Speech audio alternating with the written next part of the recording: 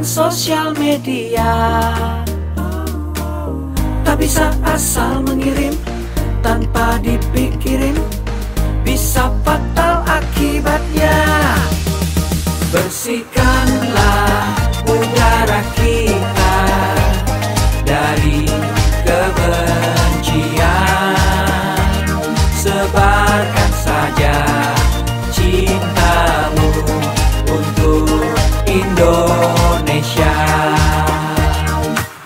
Hai kepada pengguna sosmed.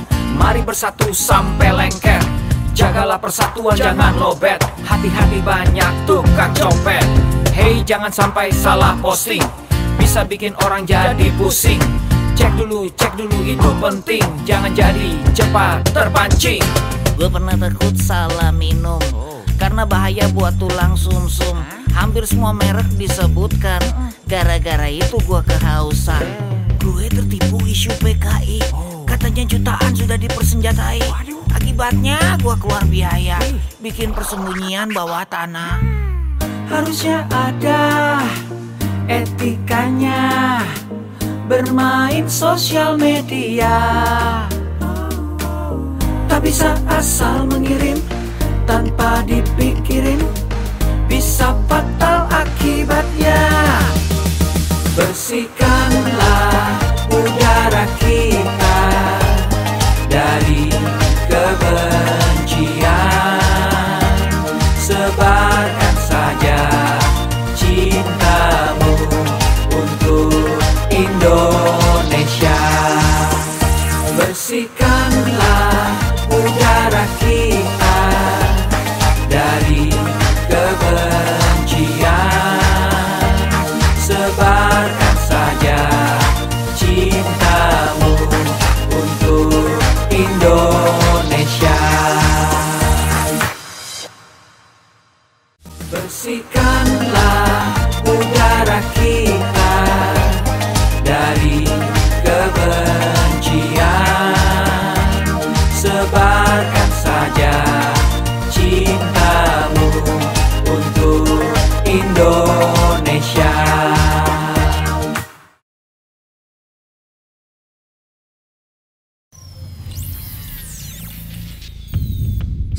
Datang di Indonesia Makin Cakap Digital.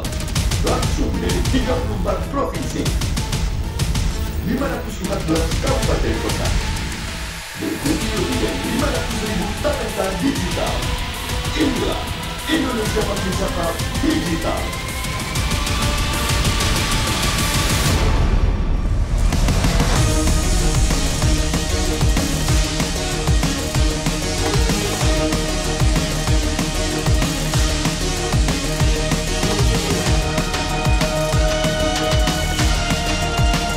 Saya luncurkan program literasi digital nasional hari ini.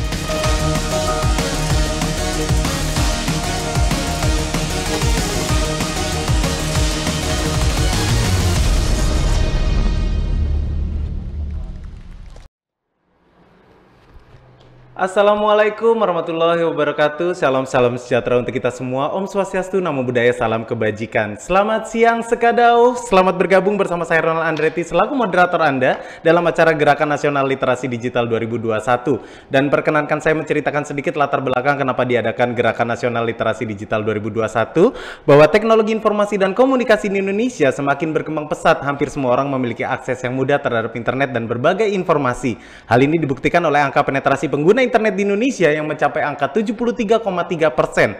Nah, berangkat dari fakta tersebut, Presiden Republik Indonesia Bapak Joko Widodo menetapkan percepatan transformasi digital untuk mencapai digital nation sebagai salah satu visi utama di dalam masa pemerintahan yang kedua ini. Dan salah satu programnya adalah pembangunan sumber daya manusia talenta digital. Nah, sesuai dengan arahan visi Presiden di atas, Kementerian Komunikasi dan Informatika bersama mitra jejaring GNL di Siberkreasi telah menyusun sebuah peta jalan literasi digital dari tahun 2021 hingga tahun 2024 dengan empat empat kurikulum yaitu digital skills, digital safety, digital ethics, dan digital culture. Oleh karena itu Kementerian Komunikasi dan Informatika khususnya Direktorat Pemberdayaan Informatika, Direktorat Jenderal Aplikasi Informatika akan melaksanakan kegiatan liter, uh, literasi digital di 34 provinsi 514 kabupaten atau kota yang melibatkan 110 mitra strategi siberkreasi dan juga stakeholders terkait lainnya. Dan tentunya sebelum kita memulai acara ada beberapa tata tertib yang harus diikuti oleh peserta yang itu tetap mematuhi dan mengikuti protokol kesehatan yang berlaku. Kemudian juga selama acara berlangsung mohon untuk mic tetap dimatikan namun kamera harus terus dinyalakan. Dan tidak diperkenankan untuk peserta mencoret-coret layar dan tidak diperkenankan untuk menyela pada saat narasumber berbicara. Dan juga masing-masing peserta wajib mengerjakan pretest dan juga post-test di mana nanti peserta baru mendapatkan e-certificate setelah mengisi post-test melalui link yang dikirimkan di kolom chat. Dan juga aplikasi Siberkreasi dapat Anda download di App Store dan juga di Google Play. Dan untuk hari ini sudah kami siapkan total giveaway 1 juta rupiah untuk 10 orang. Bisa dari pertanyaan terbaik atau untuk Anda yang screen capture kegiatan kita di Instagram. Dan juga untuk hari ini bersama-sama kita akan mengawali acara dengan menyanyikan lagu kebangsaan Indonesia Raya 3 stanza diikuti dengan video arahan dari Presiden Republik Indonesia Bapak Joko Widodo.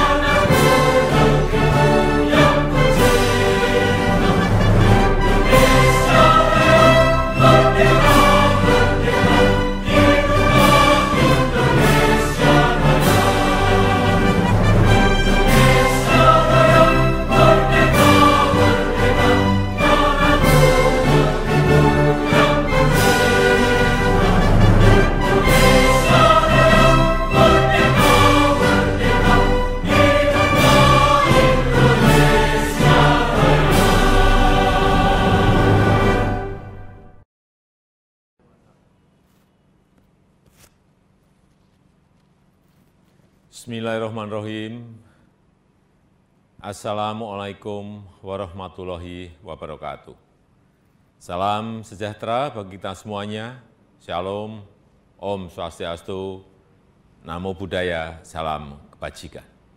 Yang saya hormati para Menteri Kabinet Indonesia Maju, para Gubernur, Bupati, dan Wali Kota di seluruh tanah air Indonesia, hadirin dan undangan yang berbahagia. Pandemi membuka kesempatan luas bagi kita untuk melakukan transformasi digital secara besar-besaran.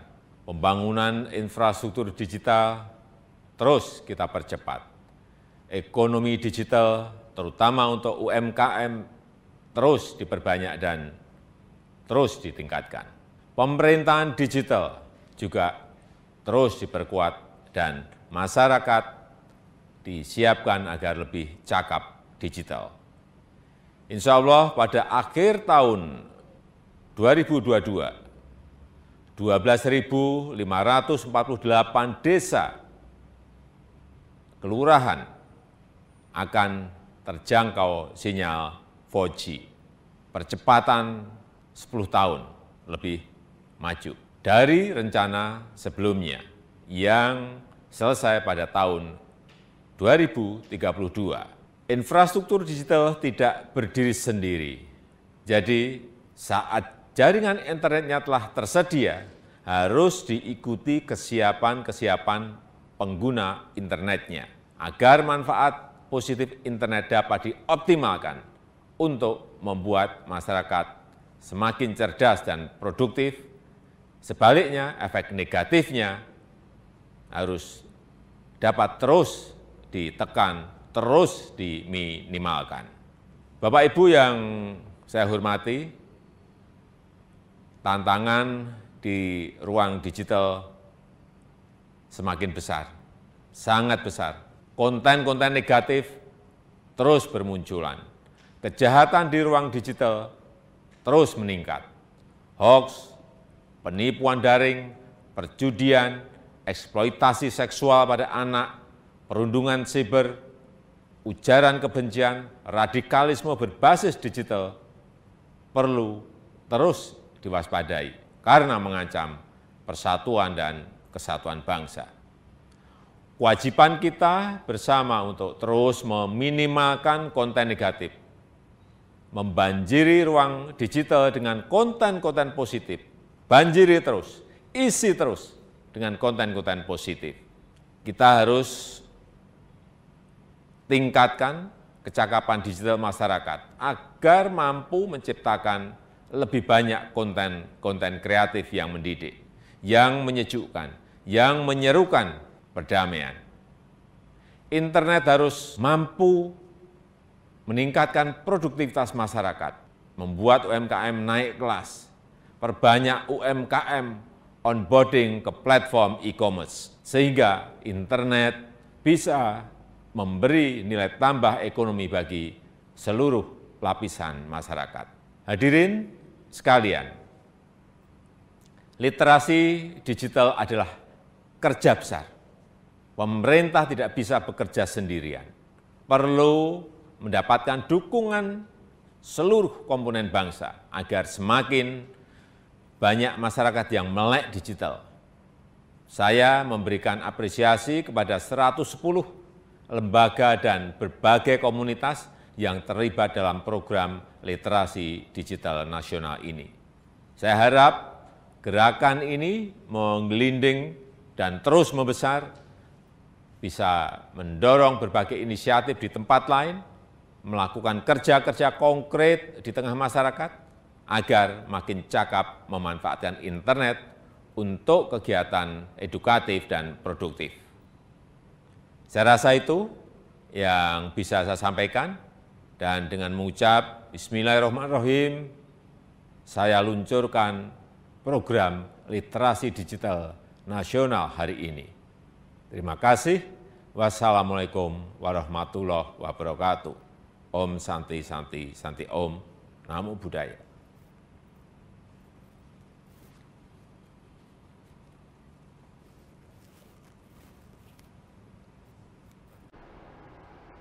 Dan kini untuk membuka acara kita hari ini bersama-sama akan kita simak keynote speech yang akan disampaikan oleh Direktur Jenderal Aplikasi Informatika Bapak Samuel Abrijani Pangerapan BSC. Diikuti juga dengan keynote speech yang akan disampaikan oleh Bupati Skadau Bapak Aaron SH. Kami persilakan. Pastikan kita selalu menerapkan protokol kesehatan dengan menggunakan masker, menjaga jarak, dan selalu cuci tangan. Assalamualaikum warahmatullahi wabarakatuh. Salam sejahtera bagi kita semua Om Swastiastu, Namo Buddhaya, Salam Kebajikan. Rekan-rekan yang saya hormati, puji syukur kita panjatkan kehadiran Tuhan Yang Maha Esa atas berkat dan rahmatnya kita dapat berkumpul secara virtual dalam keadaan sehat di tengah situasi pandemi COVID-19. Semoga kita semua senantiasa dilimpahi dengan kesehatan dan damai sejahtera dalam upaya kita melawan pandemi COVID-19 menjadi kebanggaan tersendiri bagi saya untuk membuka acara ini, di mana acara ini merupakan sebuah kegiatan yang diadakan oleh Kementerian Kominfo bekerja sama dengan Cyber Kreasi di bawah kerangka program literasi digital. Sebagaimana yang telah kita ketahui bersama, kehadiran pandemi dan pesatnya perkembangan teknologi telah mengubah cara kita beraktivitas dan bekerja. Kehadiran teknologi sebagai bagian dari kehidupan masyarakat inilah yang semakin mempertegas bahwa kita sedang menghadapi era disrupsi teknologi. Untuk menghadapi hal tersebut, kita semua harus mempercepat kerjasama kita dalam mewujudkan agenda transformasi digital Indonesia. Rekan sekalian yang berbahagia, salah satu pilar penting dalam mendukung terwujudnya agenda transformasi digital adalah menciptakan masyarakat digital di mana kemampuan literasi digital masyarakat memegang peranan penting di dalamnya.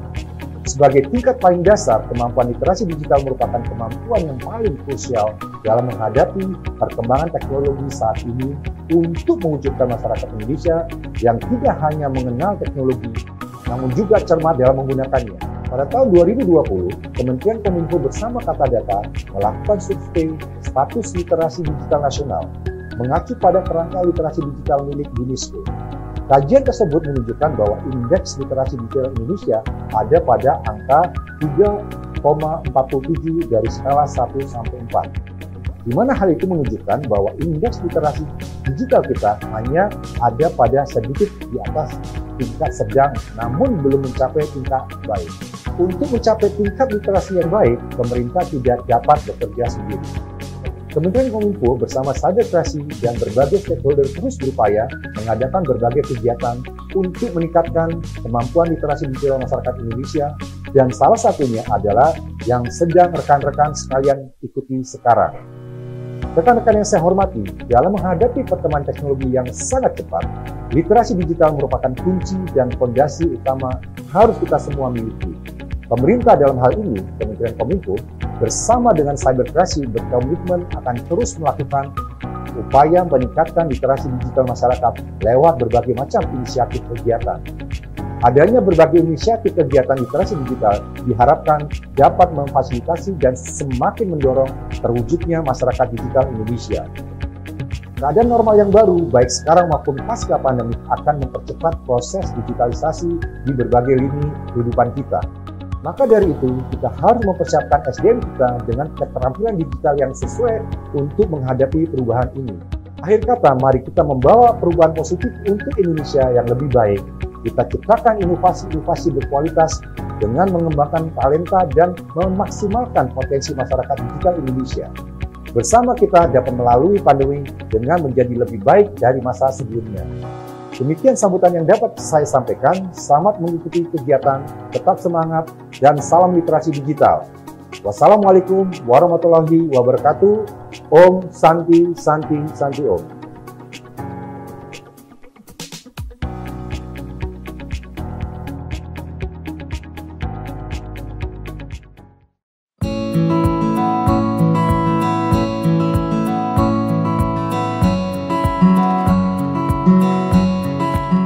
Assalamualaikum warahmatullahi wabarakatuh. Salam sejahtera bagi kita semua. Om Swastiastu, Namo Buddhaya, Salam Kebajikan. Adil Katalino Bacuramin Kasaruga, Basengat Kajubata. Menurut Asosiasi Penyelenggara Jasa Internet Indonesia, tahun 2020, rentan waktu penggunaan internet masyarakat selama pandemi lebih dari 8 jam sehari. Bahkan berdasarkan data Hotsuite Januari 2021 jumlah pengguna media sosial Indonesia mencapai 170 juta dari 270 juta populasi. Namun di balik semua itu, cepatnya informasi yang tersebar dan diterima masyarakat tanpa dipilih terlebih dahulu bisa berpotensi tersebarnya hoak. Program literasi digital bertujuan untuk membuat masyarakat cakap dalam menggunakan teknologi digital dari tingkat dasar hingga tingkat inklusif. Saya Bupati Skadau mendukung penuh kegiatan ini untuk menambah kecakapan digital masyarakat agar dapat memanfaatkan internet dan teknologi digital ini untuk hal-hal yang positif dan kreatif guna mewujudkan Kabupaten Skadau yang maju, sejahtera dan bermartabat. Mari bersama ikuti webinar ini sampai selesai sebagai pedoman dan ilmu kita dalam menggunakan media digital secara bijak dan cakap. Tetap patuhi protokol kesehatan di mana pun berada. Makin cakap digital, Indonesia maju. Assalamualaikum warahmatullahi wabarakatuh. Salam sejahtera bagi kita semua. Om Swastiastu, Namo Buddhaya, Salam Kebajikan, Adil Katalino, Bacoremin Kasaruga, Basengat Kejubatan.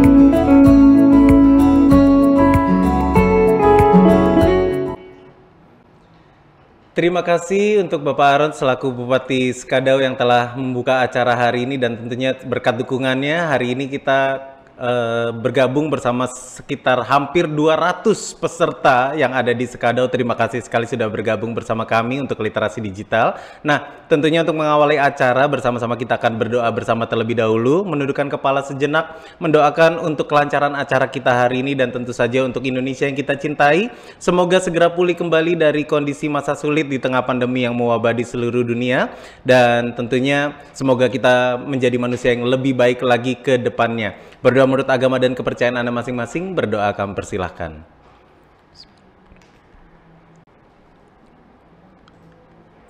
Amin. Terima kasih dan kini kita akan segera memulai literasi digital kita dengan topik besar kita adalah internet untuk pengenalan budaya Indonesia. Dan kali ini kita akan langsung bertemu dengan narasumber kita yang pertama untuk membahas soal kecakapan digital. Kali ini kita akan bertemu dengan seorang ketua NU Care. Selamat siang untuk Bapak Dr. M. Sofiul Huda MF. Selamat siang Mas Ronat. Selamat siang Pak Sofiul, boleh dong untuk sharingnya pada siang hari ini untuk teman-teman yang ada di Sekadau nih, bagaimana soal kita paham Oke. tentang informasi digital, identitas digital, dan juga jejak digital dalam sosial media. Kami persilakan. Oke, terima kasih Mas Ronald. Uh,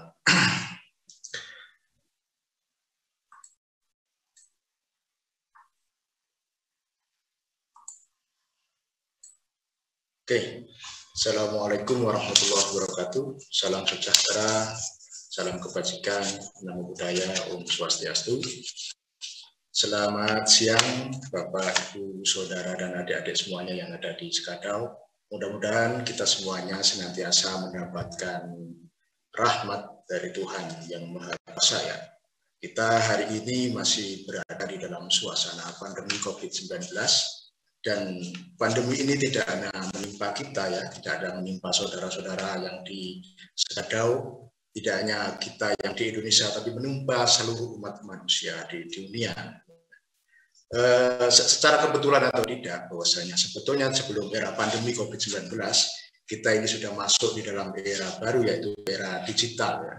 Eh, era digital sudah di depan mata kita dan kita memang hari ini sudah masuk di era digital entah karena kita terpaksa karena suatu suasana pandemi tapi kita harus melakukan itu. Kenapa? Karena kita saya masih ingat betul eh, per tanggal 16 Maret 2020 kita diharuskan atau dipaksa oleh keadaan karena pandemi ini untuk eh, teman yang ada di dunia pendidikan eh, kita dipaksa untuk melakukan eh, proses belajar mengajar itu melalui daring ya atau melalui online gitu ya tidak bisa melakukan secara offline atau secara luring nah, demikian pula bagi saudara-saudara kita yang bekerja karena pandemi yang semakin menguat menimpa kita, penyebarannya semakin masif begitu, maka dunia kerja juga dipaksa untuk off gitu ya. kalau toh bisa untuk bekerja maka harus menggunakan fasilitas internet atau rumah yang menggunakan media-media digital. Ya. Sehingga kita hari ini praktis masuk di dalam era digital. Nah, kita masuk di era digital namun fakta-fakta yang kita hadapi, terutama kita yang di Indonesia adalah Indonesia ini punya pekerjaan rumah yang yang cukup luar biasa ya, di dalam rangka meningkatkan kecakapan digital masyarakat secara merata.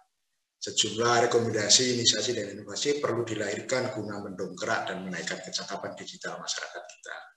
Salah satu yang tidak urgent untuk didorong peningkatannya adalah kemampuan untuk berpikir kritis uh, tentang media digital, terutama terkait dengan uh, jejak digital, data-data digital kita di dalam media sosial. Gitu ya. Oke, okay.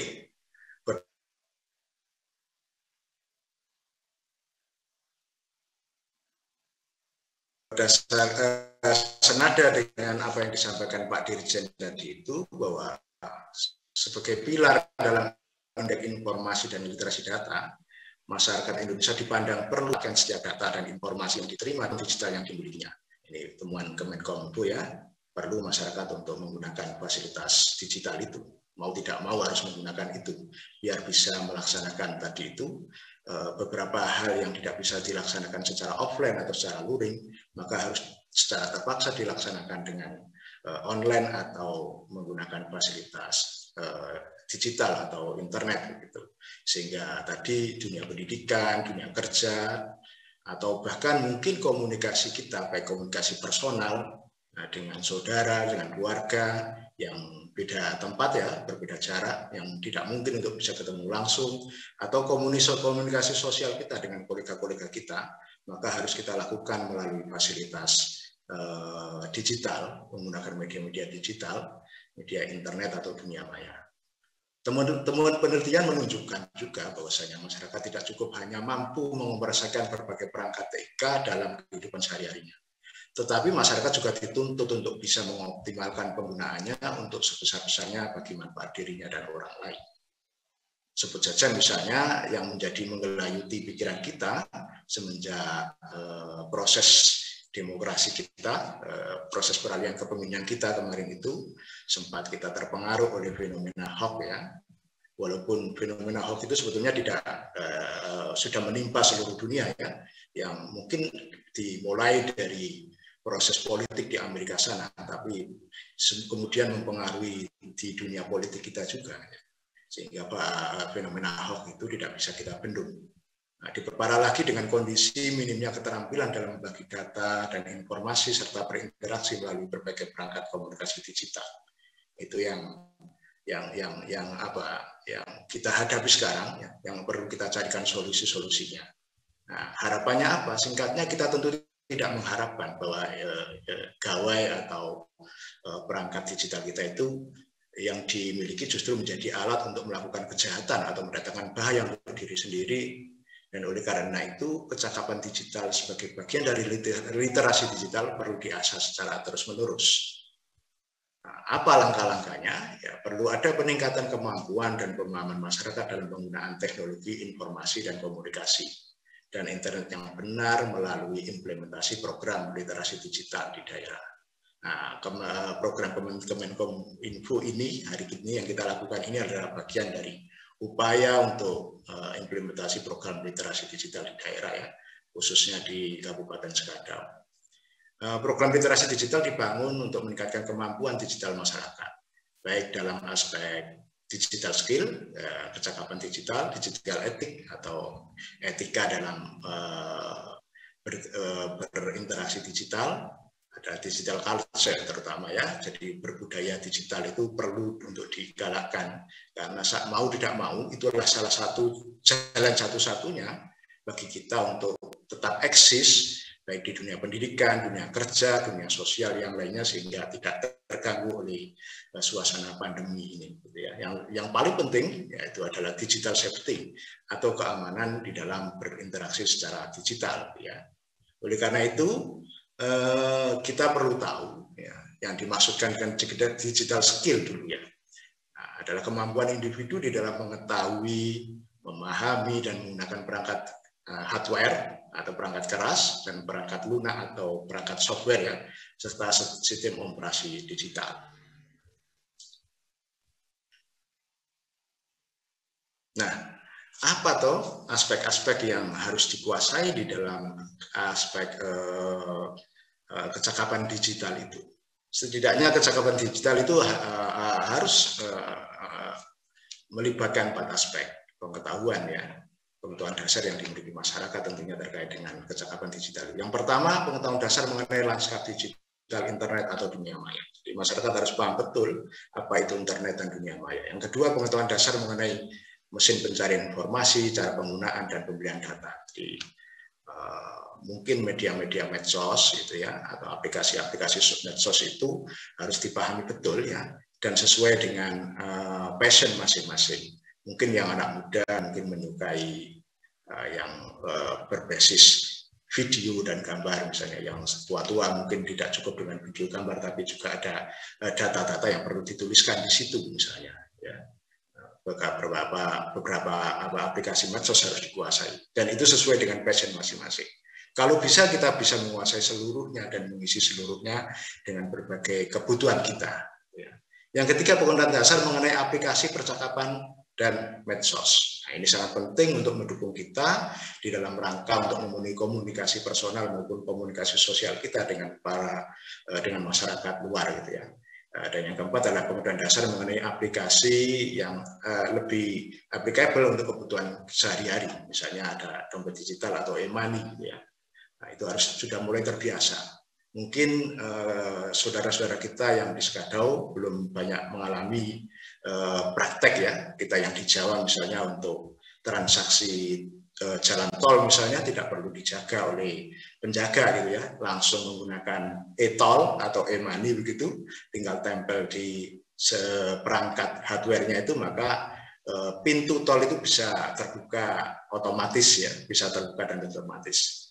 Kemudian untuk kebutuhan uh, uh, pemasaran ya itu di beberapa aplikasi media sosial juga sudah menyediakan marketplace ya, saudara bisa memanfaatkannya itu untuk kebutuhan uh, publikasi atau untuk pemasaran dari produk-produk ya mungkin produk-produk daerah, produk-produk uh, lokal dari Skadau misalnya itu bisa di dipublish dan ini dampaknya luar biasa. Tidak hanya bisa diketahui orang Skadau sendiri ya, saya yang di Jawa atau teman-teman yang atau orang-orang yang di luar negeri akan tahu apa sih eh, produk-produk yang bagus dari Skadau misalnya? Produk-produk lokal walaupun lokal tapi memberi manfaat yang besar bagi masyarakat luar ya masyarakat lain gitu. kemudian ya, jangan lupa transaksi digital juga harus dibiasakan dan perlu kehati-hatian ya di dalam melakukan transaksi digital ini. Uh, bahwasanya uh, apa yang kita lakukan di ruang digital itu mindset kita harus kita mulai kita tata walaupun kita memanfaatkan aplikasi medsos itu di kamar sekalipun orang orang lain tidak tahu maka mindset kita harus kita pikir bahwasanya kita sudah masuk di dalam aplikasi medsos uh, itu otomatis kita sebetulnya sudah tidak di dalam kamar kita sendiri tapi kita sudah memasuki belantara hutan dunia atau dunia global sehingga mindset kita bahwasanya apa yang kita lakukan di di di uh, area digital atau area dunia maya di internet itu sebetulnya hampir sama dengan apa yang kita lakukan uh, di dunia nyata dengan segala konsekuensi-konsekuensinya. Apa yang kita lakukan kalau bernilai positif maka akan mendatangkan nilai positif bagi kita semuanya. Tapi apa yang kita lakukan itu kalau mengandung nilai-nilai negatif maka akan berdampak negatif negatif bagi seluruh masyarakat, terutama bagi eh, penggunanya itu sendiri akan ada nilai-nilai uh, dampak negatif ya. Apalagi kalau sampai melakukan pelanggaran-pelanggaran hukum dan itu bisa dideteksi oleh uh, petugas keamanan kita. Tidak hanya mendeteksi apa yang nyata di dalam dunia nyata yang bisa dilihat, tapi melalui perangkat digital bisa mengetahui minimal misalnya yang paling enteng saja kita bayangkan ada CCTV Eh, di perempatan jalan kita ada CCTV dari pihak eh, lantas gitu ya misalnya. Apa yang kita lakukan di situ bisa dikontrol dari Jakarta, ya. Dan biarkan kalau itu memang di live betul, maka itu bisa diketahui orang sedunia. Perilaku kita baik yang positif atau negatif itu bisa dilihat orang sedunia. Mindset itulah yang perlu kita bangun sehingga kita bisa berhati-hati di dalam uh, memanfaatkan media digital. Nah, ini yang lebih penting lagi, nah, pemanfaatan internet untuk menyebarkan konten positif bagi pemuka masyarakat. Jadi, bapak-bapak yang ada di Sekadau, pemuka masyarakat, pemuka agama, pemuka adat, anggota dewan, bapak kepala daerah, bapak bupati gitu ya, atau teman-teman komunitas muda, komunitas hobi misalnya di medsos, nah, bisa memanfaatkan media sosial atau konten-konten yang bagus, yang bermanfaat bagi masyarakat, terutama bagi eh, penggunanya sendiri, itu bisa di-share di media-media sosial. Kita kuasai media-media sosial untuk eh, kebaikan masyarakat, untuk kebaikan diri kita dan juga untuk kebaikan masyarakat. Jangan sampai kita men-share nilai-nilai budaya yang itu jauh dari budaya masyarakat, ya.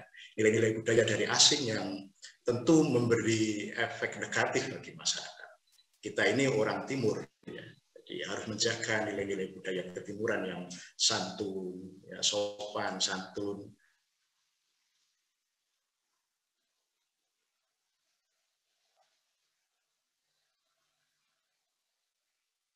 eh, memiliki keakraban, keluar dengan terbuka dengan baik, bukan dengan ya. Dan bahkan bisa jadi eh, seorang kepala rumah tangga itu bisa memanfaatkan media sosial ini untuk membentengi anak-anaknya dari pengaruh-pengaruh negatif gitu ya. Jadi di media sosial itu bebas ya. Nah, media sosial itu bebas dan liberal. Jadi apa yang kita sampaikan di media sosial itu kita sampaikan positif, tidak ada yang melarang. Apa yang kita sampaikan itu negatif juga tidak ada yang melarang Apalagi kita ini sudah masuk era post truth ya, di mana di era itu kita ketika masuk dunia digital maka tidak ada sekat-sekat antara uh, lingkungan kita, uh, lingkungan kita, RT kita, RW kita, kecamatan kita, bubat, uh, kabupaten kita, provinsi kita, yang di Indonesia bisa masuk ke dalam ruang global yang itu bisa dideteksi oleh orang banyak. Jadi eh, kalau bisa kita sampaikan konten-konten yang positif dan hati-hati eh, postingan-postingan kita itu memiliki jejak digital. Kalau di dalam agama Islam kita mengenal eh, catatan-catatan kehidupan kita, mungkin di dalam Islam itu Tuhan mencatat apa yang kita lakukan itu misalnya melalui malaikat rokib atid itu ya entah di kalau di agama lain atau di budaya lain apa itu istilahnya? Bahwasanya di dalam kehidupan kita itu ada yang Tuhan mencatat kehidupan kita ada jejak-jejak eh, perilaku kita yang baik yang yang tidak baik itu semuanya dicatat. Dan ini bisa dibuktikan secara teknologi bahwasanya apa yang kita lakukan di dalam eh, media digital itu ada catatannya ada rekamannya dan itu bisa di, diketahui. Hari ini melalui misalnya melalui Google Map gitu ya pada posisi mana, koordinat mana, titik mana, eh, petugas kepolisian itu bisa mengetahui eh, kita sedang mengupload konten positif apa negatif. Pada timing jam berapa, itu bisa diketahui oleh petugas keamanan. Eh, bapak-bapak yang di Densus 88 itu bisa mengetahui posisi seseorang dengan media digitalnya itu sedang mengupload apa, jejak digitalnya apa, itu konten positif apa negatif, itu bisa dideteksi secara real time Gitu ya. Jadi kita harus hati-hati, walaupun kita merasa pada ruang yang sangat sempit, ruangan kamar kita yang mungkin ukuran 4 kali 4 atau 3 kali 3. Tapi ingatlah kalau kita sudah masuk mindset kita, kita harus kita pahami atau kita rubah bahwasanya ingatlah kalau kita sudah masuk di media sosial, maka kita sebetulnya sudah masuk bukan belantara global dan perlu hati-hati untuk itu. Semua catatan-catatan kita, nah, perilaku kita di di eh, di media digital, media sosial itu bisa dideteksi dan ada catatannya, ada rekam jejaknya yang tidak bisa kita hapus. Nah, contoh aja flash disk ya. Flash disk itu walaupun sudah kita hapus data-data yang terdahulu, kita ganti dengan data terbaru, itu bisa diungkap kembali, bisa di uh, bisa dibuka kembali catatan-catatan di flash disk itu dengan melalui perangkat teknologi ya. Apalagi yang kita menggunakan media sosial yang kita yang bukan yang bikin ya tentu kita tidak bisa menghapus itu. Mungkin secara teknologi ada teknologi untuk menghapus itu, tapi barangkali juga eh, ada juga teknologi untuk eh, kembali mengungkap jejak digital kita itu. Maka perlu hati-hati kita, eh, harus hati-hati eh, bersopan santun. Bayangkan bahwasanya apa yang kita lakukan di media sosial itu hampir sama dengan apa yang kita lakukan di dunia nyata. Jadi berdampak positif dan negatif pada diri kita hampir sama. Eh, ketentuan hukum yang eh, mengaturnya, ya Undang-Undang ITE juga sama. Ketika kita melakukan di dunia nyata ada peraturan perundang-undangannya, di dunia digital juga ada ada undang-undang ITE yang bisa eh, mengontrol kita apakah kita melakukan hal-hal yang melanggar hukum atau tidak. Nah, ini kita harus pandai-pandai betul melindungi data pribadi kita di internet. Ya. Hati-hati menggunakan password, eh, men-sharing password, kemudian mengakses sebuah uh, situs, itu juga harus hati-hati apakah situs itu berbahaya bagi kita atau bermanfaat bagi kita. Ya. Apalagi hindari memberikan data pribadi kita kepada eh, website-website uh, yang mungkin kita tidak tahu itu kepentingannya apa. Bahkan di, di dunia perbankan ini banyak terjadi penipuan-penipuan ya, bukan perbankannya yang menipu, tapi banyak oknum-oknum yang memanfaatkan teknologi perbankan ini untuk menipu kita. Ya. Nah, misalnya ada uh, seolah-olah ada keluarga kita yang kecelakaan, misalnya kemudian kita dihubungi melalui medsos untuk mentransfer sejumlah uang tertentu, maka kita harus hati-hati dulu. Kita harus pastikan apakah betul kejadian yang menimpa keluarga itu betul-betul terjadi, termasuk siapa yang meminta informasi kepada kita terkait dengan data kita atau minta uh, bantuan kita itu harus hati-hati betul. Jadi antara dunia nyata dengan dunia digital itu kita harus persepsikan sama, baik uh, dampak positif maupun negatifnya. Nah ini yang penting, sharing dulu baru sharing gitu ya. Dan hati-hati betul dengan terkait, terkait dengan hoax ya di, di, di, di, di dunia digital uh, ada beberapa website yang sebetulnya bisa digunakan untuk mengontrol apakah gambar dan video yang kita terima itu video hoax atau tidak gitu ya. ya. Baik, saya izin mohon maaf ya. Pak Sofil. Oke, okay, okay, mengingatkan saya itu. Terima kasih. Oh ya baik. Maaf apabila ada kekurangan. Eh, wallahu alam bisalam. Eh, wallahu alam bisawab. Wallahu muwaffiq ila aqwamit thoriq. Wassalamualaikum warahmatullahi wabarakatuh. Salam sejahtera, salam dan budaya Om Swastiastu. Waalaikumsalam warahmatullahi wabarakatuh. Terima kasih sekali Pak Sofio untuk sharingnya. Nanti kita akan ketemu di sesi Q&A ya. Pas banget tadi baru mau mengingatkan Pak Sofio. Ternyata memang materinya segitu dipadatkan di 20 menit ini. Jadi nanti teman-teman kalau misalnya masih ada pertanyaan seputar topik yang diangkat oleh Pak Sofio, nanti kita langsung aja ketemunya nanti di sesi Q&A ya.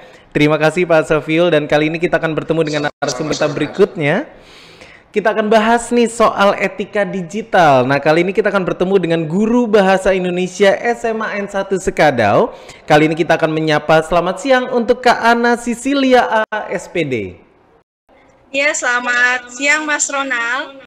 Selamat siang Kak Ana, senang berjumpa lagi kali ini. Kita akan bahas juga soal etika digital nih, bagaimana kita bisa bijak berkomentar di ruang digital. Kalian persilakan. Baiklah, saya izin ya untuk share screen.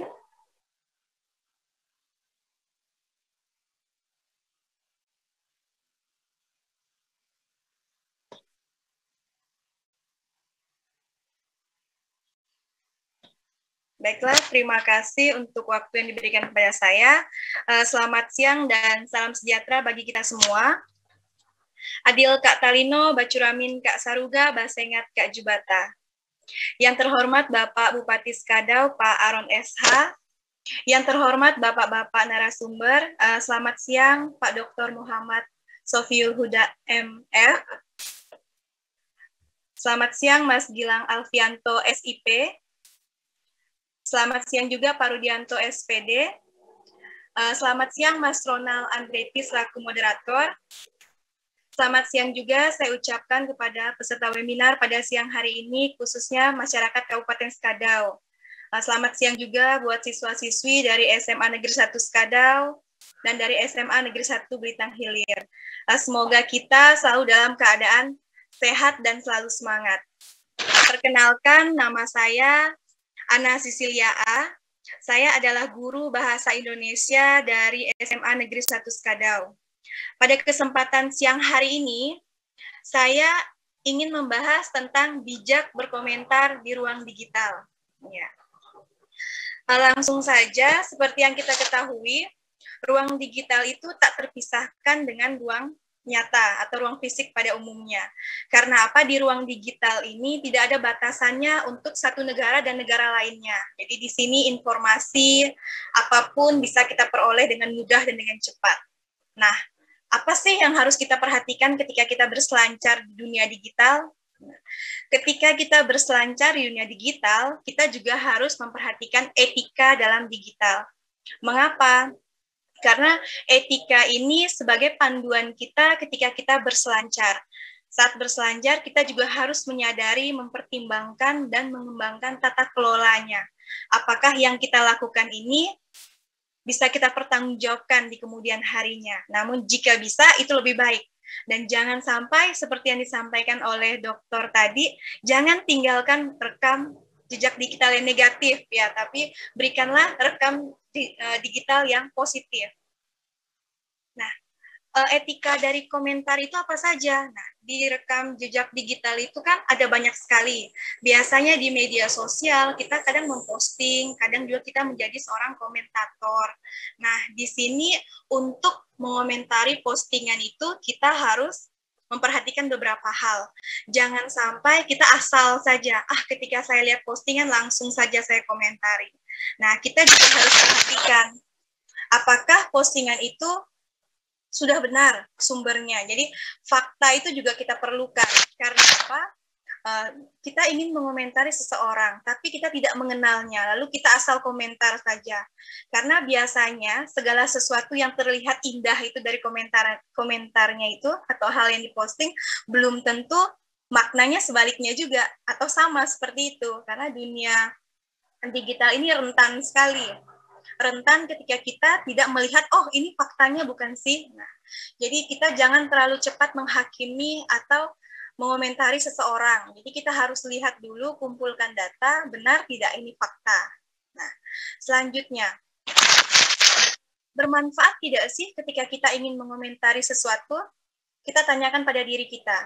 Jika hanya bermanfaat untuk saya, kenapa saya harus komentar? Namun jika bermanfaat untuk banyak orang, silahkan kita berikan komentar terhadap apa postingan yang kita lihat. Selanjutnya, nah kita bisa kita bisa berikan komentar yang sifatnya menginspirasi seseorang. Jadi jangan hanya komentar asal saja nimbrung, tapi kita bisa berikan komentar inspirasi yang memotivasi atau mendukung dia untuk jauh ke depannya lebih baik lagi. Nah, kalau itu adalah komentar yang inspirasi, tentu perlu untuk meningkatkan atau memotivasi orang yang kita komentari. Namun jika tidak, jangan kita sesekali mengomentarinya. Nah, komentar yang kita kirim, komentar yang kita kirim juga kita harus lihat baik tidak sih sudah tepat belum sesuai tidak dengan apa yang diposting jangan sampai kita mengomentari di luar postingan itu yang mungkin saja akan membuat dampak yang tidak baik bagi kita dan orang yang kita komentari.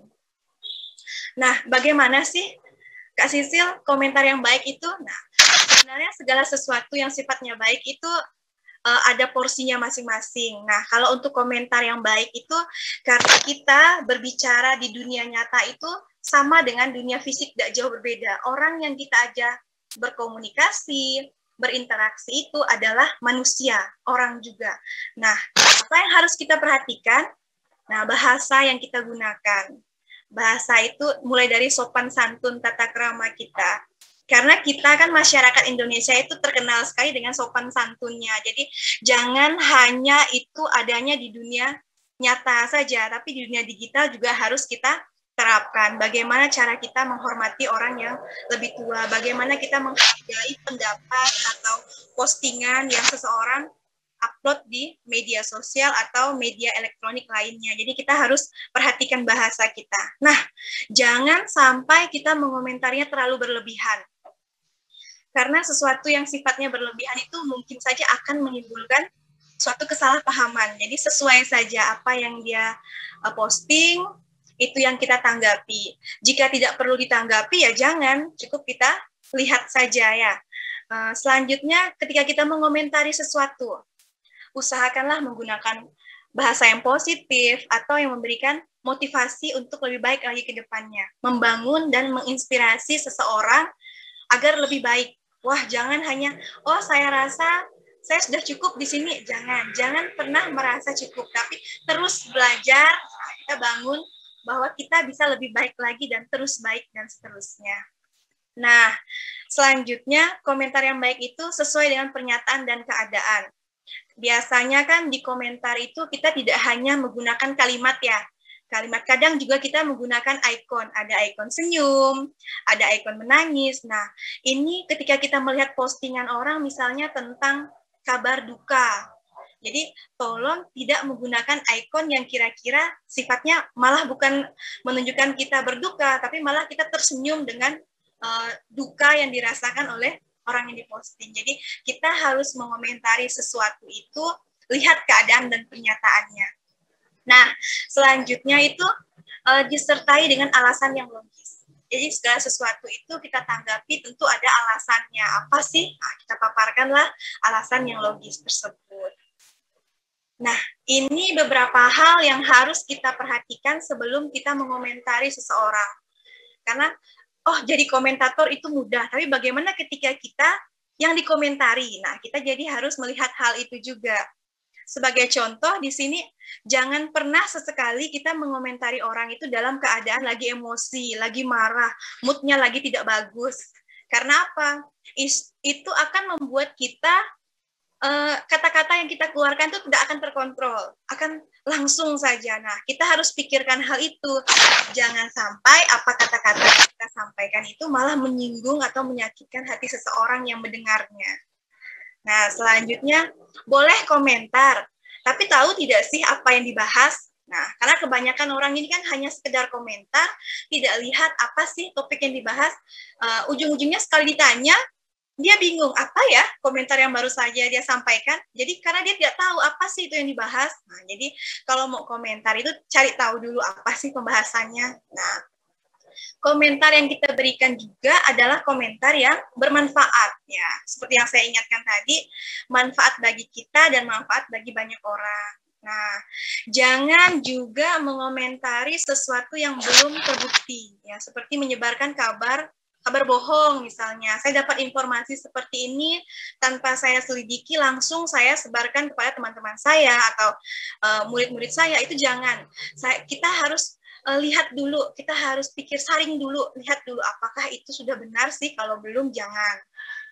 Nah, selanjutnya itu jangan sampai mengomentari atau menyinggung hal-hal yang sifatnya sensitif. Nah, karena hal-hal yang sifatnya sensitif ini identik uh, bukan ranah kita ya, karena ada se uh, tidak semua hal yang diposting itu harus kita komentari, tidak. Nah, penting bagi kita untuk menahan komentar. Karena apa? Di era globalisasi ini, khususnya di era sosial media, semua orang itu punya panggung untuk bicara. Ya, siapa saja, kapan saja, di mana saja, orang bisa mengomentari apa pun topik yang dia lihat. Nah, saya berharap kita semua ini hendaknya menjaga adab Kenapa? Lebih baik diam daripada banyak bicara atau komentar. Justru orang yang sering mengomentari itu komentarnya tidak membantu, malah komentarnya memperkeruh suasana. Komentarnya malah membuat pembahasannya lebih berat lagi. Ah, ujung-ujungnya menjadi sebuah fitnah. Ah, ini yang harus kita hindari. Maka baik kita menahan komentar kita dan hendaknya kita beradab ketika berkomentar baik di media sosial atau di uh, Facebook, Instagram dan sebagainya. Nah, bagaimana menjaga adab itu sendiri? Nah, ini menjaga adab itu kita harus jaga lisan kita dan jaga jari kita. Nah, karena apa? Hukum tulis itu biasanya menunjukkan hukum perkataan juga. Apa yang kita tulis, apa yang kita ingin sampaikan kepada orang itu baiknya harus kita pertimbangkan dulu Jangan sampai komentar yang kita berikan hari ini akan menjadi bumerang di kemudian hari. Ini akan menjadi senjata untuk orang menyerang, menyerang balik apa yang kita pernah ucapkan. Nah, itu jangan sampai terjadi. Nah, sesekali itu ketika kita mengomentari seseorang, jangan sifatnya mencela, memaki, bahkan menjatuhkan orang. Ingat ya, sekarang itu ada undang-undang ITE. Nah, jadi segala sesuatunya itu ada pidananya. Jadi jangan berlebihan. Karena apa? Ketika kita memperlakukan seseorang seperti itu, maka sebaliknya kita akan diperlakukan hal yang sama. Jika kita ingin dihormati, tentu kita juga harus menghormati orang yang akan kita komentari. Selanjutnya tidak dibenarkan menggurui saat mengomentari. Kenapa? Kita cukup mengomentari yang ranahnya kita saja tidak harus semuanya kita dominasi karena ini seolah-olah wah saya loh yang paling mengerti apa yang dia rasakan. Nah, itu tidak benar. Jadi, jangan sesekali kamu menggurui seseorang. Karena apa yang sudah kamu tulis atau kamu posting di tulisan di di media sosialmu, itu akan menjadi konsumsi. Tidak semua hal itu harus publik konsumsi. Nah, selanjutnya komentarnya harus terarah, fokus pada apa sih yang dibahas. Sebenarnya saya hanya fokus pada itu saja, jangan saya ke mana-mana untuk uh, bisa jadi membuat malah masalah di kemudian harinya. Nah, jangan juga mengomentari sesuatu itu secara berlebihan dan tidak berfaedah. Hanya sekedar, ah ikut nimbrung saja, ah biar ramai komentarnya. Nah, itu tidak benar. Karena ada pepatah yang mengatakan, mulutmu itu adalah harimaumu. Jadi setiap kata yang saya rasakan itu baik, belum tentu orang merasakannya itu baik. Nah, jadi itu harus kamu jaga lisan dan jarimu. Sinkronkan kedua hal itu. Nah, kita bisa kok mengomentari seseorang itu dengan komentar yang positif, tidak harus komentar yang negatif, tapi bagaimana awalnya. Jadi awal seseorang itu bisa dan terus-menerus komentar positif itu ketika dia juga berpikiran yang positif. Jadi berpikiran yang positif itu menambah kepercayaan diri, meningkatkan suasana hati, dan menghilangkan depresi. Bisa tidak Bu? Saya atau bisa tidak Kak? Saya menjadi pribadi yang positif. Bisa. Kenapa tidak? Nah, bagaimana cara membangun pribadi yang positif tadi, Kak? Nah, ini adalah hal yang paling sederhana yang bisa saya dan kita semua lakukan setiap hari tidak perlu porsir terlalu berat. Ini yang ringan-ringan saja. Bagaimana membangun pribadi yang positif? Nah, bangun pagi ketika membuka mata, jangan lihat handphone lagi, tapi langsung Bicara pada diri sendiri, boleh di depan cermin atau dalam hati, bangun sesuatu hal yang positif. Wah, bahwa pagi ini saya masih bisa bersyukur, saya bisa menjalani hari lebih baik lagi. Saya pasti bisa menjadi pribadi yang bersemangat. Jadi kita bangga dengan diri kita dan kita membuat kita bersemangat dengan apa-apa kata-kata yang kita ucapkan. Nah, selanjutnya rasa syukur. Ini juga penting untuk pribadi yang yang positif tadi. Bersyukur itu perlu. Kenapa? Hal sekecil apa pun harus kita syukuri. Itu tanda kita e, menghargai kerja keras kita, perjuangan kita. Nah, gagal itu biasa sih, Kak. Gagal itu gagal berulang kali itu biasa, tapi bagaimana cara kita fokus menikmati dari hasil kerja keras kita. Hari ini kita boleh gagal, tapi lihat hal baik dari kegagalan itu. Bahwa saya akan lebih berusaha lagi lebih baik ke depannya. Nah, oh saya hari ini gagal, saya melakukan kesalahan, saya dihindari teman-teman saya. Hari ini saya melakukan kesalahan. Bagaimana saya memperbaiki kesalahan itu agar menjadi pelajaran berharga yang kemudian hari bermanfaat untuk saya dan tidak akan saya ulangi lagi. Nah, itu cara kita untuk membangunkan pikiran yang positif atau pribadi yang positif. Lingkungan juga pengaruh yang sangat besar. Lingkungan, pertemanan, mentor-mentor kita itu juga adalah hal yang berpengaruh besar. Jadi beradalah di lingkungan yang positif agar aura-aura positif itu hadir ke dalam diri kita. Nah, selanjutnya eh, bagaimana sih Kak cara bijak dan cerdas itu ketika kita mengomentari pendapat yang pedas karena kebanyakan orang itu komentar itu jarang Kak yang baik-baik, kebanyakan yang pedas. Nah, bagaimana sih apakah harus sambar dengan pedas juga, Kak? Nah, saya sarankan tidak. Kenapa? Kita harus bersikap tenang, positif menghadapinya. Kita dengarkan dulu apa sih sebenarnya yang diinginkan. Kita lihat, kita cerna komentarnya. Mungkin saja dari apa yang dia komentari itu benar. Ada kesalahan, ada ada hal yang harus diperbaiki dari diri saya. Jadi saya ubah kesalahan itu, saya lebih baik lagi ke depannya. Jangan sampai orang yang mengomentari pedas saya sambar lagi dengan komentar yang pedas. Tidak, itu tidak benar. Tapi kita pelajari sebenarnya apa sih yang ingin dia sampaikan. Oh, mungkin memang ada hal yang salah dari diri saya yang harus saya perbaiki. Nah, kita juga bisa berkomunikasi uh, dengan orang yang mengomentari kita bagaimana sih kenapa saya digolongkan sebagai kategori yang seperti ini? Nah, contohnya bagaimana uh, solusinya menurut Anda seperti apa? Nah, kita harus berempati kepada orang yang mengomentari kita. Karena apa? Komentar pedas itu biasanya bisa menjadi motivasi ke depannya buat kita. Untuk lebih baik lagi, jangan sampai kita jatuh ke dalam tempat yang sama, tapi kita bisa berusaha agar itu adalah pelajaran dan ke depannya saya akan lebih baik lagi. Nah, jadi komentar-komentar pedas itu sebenarnya bukan hal yang menjatuhkan, tapi bagi saya itu adalah motivasi, hal yang mendukung saya untuk lebih baik lagi. Oh, ini adalah orang yang hobi komentar. Nah, setiap orang posting selalu komentar. Setiap postingan ada lagi siapa komentar lagi. Nah, diet juga perlu ya untuk komentar karena apa? Karena sesuatu yang berlebihan tadi sifatnya tidak baik. Diet komentar, keseringan komentar bisa buat ketagihan. Nah, awalnya cuma iseng saja nih orang posting komentar, orang posting komentar.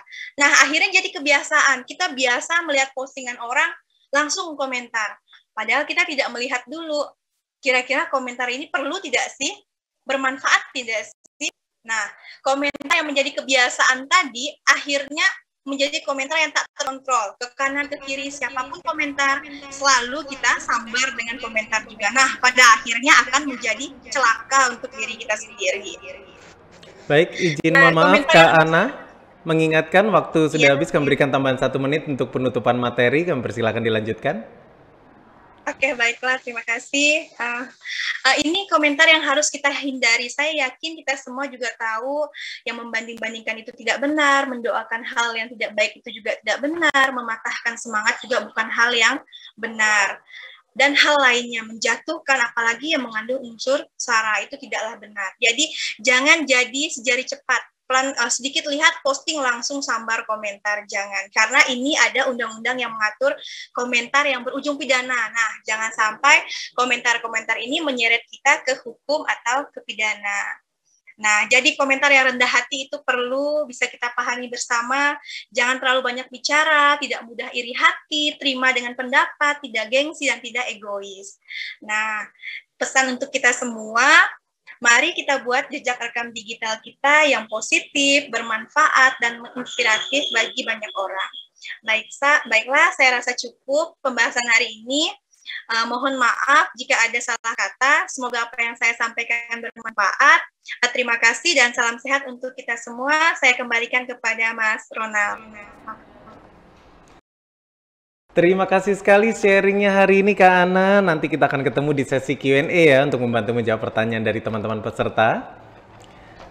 Dan tentu saja tadi kita sudah bahas soal etika digital bersama Kak Ana dan kali ini kita akan bertemu dengan narasumber kita selanjutnya selaku key opinion leader kita yang akan membahas soal keamanan digital nih. Kali ini kita akan bertemu dengan Kak Gilang. Selamat siang Kak Gilang Alfianto. Halo, selamat siang Kak Ronald. Gimana? Sehat? Alhamdulillah Kak Gilang. Kak Gilang ini adalah seorang founder dari Hanky Dori Barbershop dan juga Millennia Guest House nih teman-teman. Jadi langsung aja kita bakal sharing nih bareng Kak Gilang soal dunia maya dan juga rekam jejak digital. Kami persilakan Kak Gilang.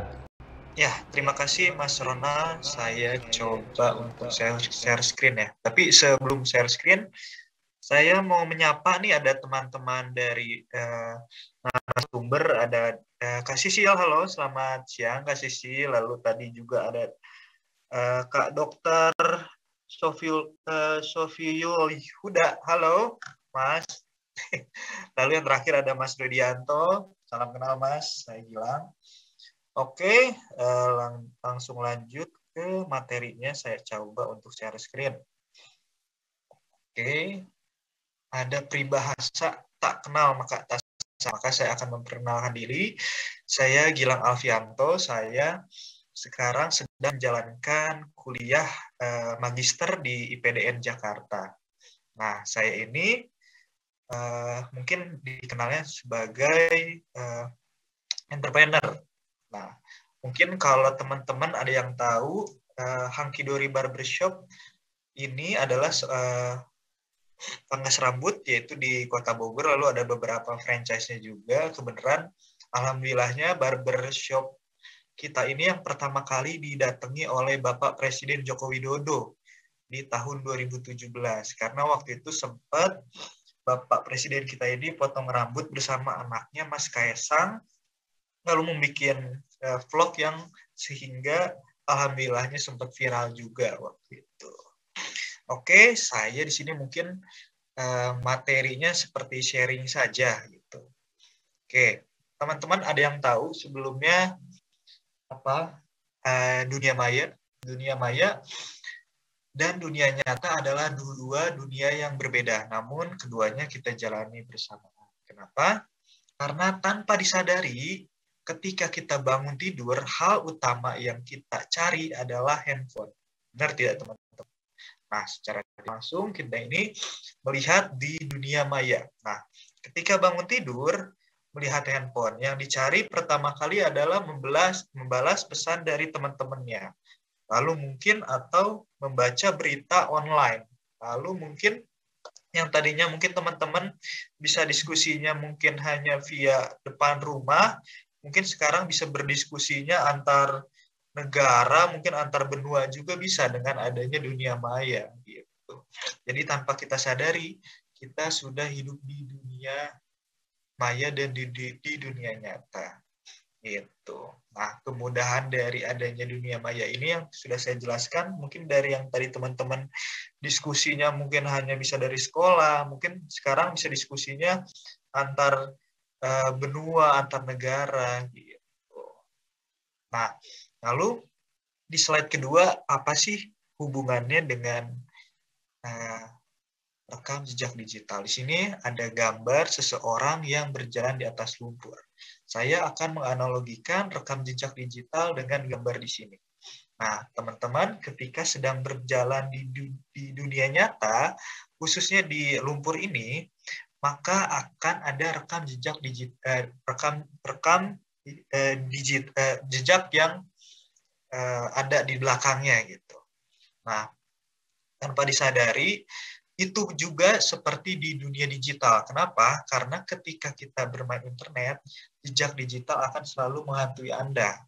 Mungkin syukurnya kalau di dunia nyata ini, ketika kita berjalan di atas lumpur, eh, bekas-bekas atau sisa-sisanya ini akan hilang sendirinya oleh alam. Tapi yang membedakan ketika kita berjalan berjalan di dunia digital, rekam jejak digital ini belum tentu akan hilang Nah, maka dari itu, teman-teman bijak dalam bersosial media. Nah, nah, di sini saya akan menjelaskan mengenai produk digital. Nah, eh, banyak sekali produk digital ini yang teman-teman sudah menggunakannya, tapi tanpa disadari meninggalkan rekam jejak digital. Nah, yang pertama ini adalah Twitter. Kita tahu sendiri Twitter ini viralnya di tahun 2000, 2012-an eh, ya Kenapa? Karena tanpa disadari di Twitter ini tempat tempat kita bertukar uh, opini, berdiskusi gitu. Maka ketika teman-teman bermain Twitter, alangkah baiknya teman-teman ini nge-tweet yang bagus-bagus, contoh seperti motivasi atau mungkin hal-hal yang bisa meningkatkan uh, orang-orang ketika membacanya. Gitu. Lalu yang kedua adalah Instagram, teman-teman. Nah, tanpa disadari, Instagram ini sangat banyak pengikutnya. Kenapa? Uh, kita tahu sendiri uh, Instagram ini dari fungsinya ini terus mengikuti arah zamannya, di mana sekarang ini mungkin uh, Instagram ini sudah menjadi CV online kita. Kenapa? Karena yang kita tahu sebuah perusahaan ini sudah mulai masuk ke dalam dunia maya kita, di mana yang di, uh, dipertanyakan apa salah satu akun dari media sosialnya. Nah, salah satunya adalah Instagram. Nah, alangkah baiknya teman-teman ini dalam memposting ini, kita memberitahu kebaikan kita, lalu proses kita seperti apa, kita mencerminkan seseorang kita seperti apa di sosial media kita. Karena efek jangka panjangnya ketika teman-teman mengapply ke sebuah perusahaan akan lebih mudah. Lalu yang ketiga adalah Facebook, di mana mungkin dulu teman-teman tahunya Facebook ini hanya melihat foto lalu hanya wall to wallan. Tapi dengan berkembangnya zaman, Facebook juga adalah tempat sebagai uh, transaksi online, di mana transaksi ini digunakan uh, ketika teman-teman ingin membeli uh, Facebook ini banyaknya di otomotif, di mana teman-teman ingin membeli sebuah otomotif ini di dalam Facebook. Nah, maka dari itu, tinggalkanlah rekam jejak digital yang baik. Ketika kita ingin mempublish atau ingin menjual barang di Facebook, alangkah lebih baiknya tidak ada yang dilebihkan dan tidak ada yang dikurangkan. Alangkah baiknya sesuai dengan ekspektasi yang ingin Anda jual, karena ini akan berde, eh, ber, eh, bergantung ke jangka panjangnya. Gitu.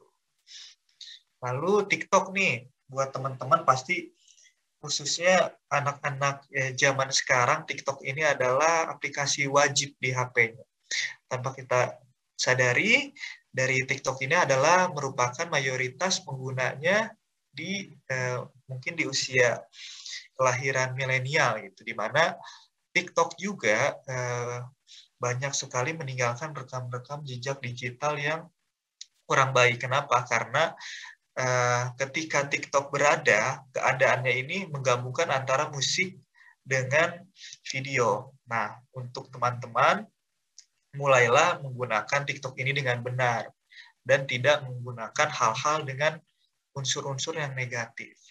Nah, lalu di sini ada WA. Nah, kita tahu sendiri ya, di mana WA ini banyak sekali berita-berita yang eh, banyak disebarkan tanpa keasliannya, yaitu berita hoax kalau dari teman-teman ada hoax ini, alangkah lebih baik ketika putus di kalian. Jangan disebarluaskan lagi kepada teman-temannya, karena yang sudah dijelaskan oleh pemateri sebelumnya, bahwa UU ITE ini akan menghantui Anda. Kenapa? Karena ketika kita asal memforward tanpa kita tahu isinya, maka kita yang akan terkena dampaknya. Maka dari itu, putus di kalian. Ketika mendapat berita, cukup disimpan saja. Jangan asal memforward.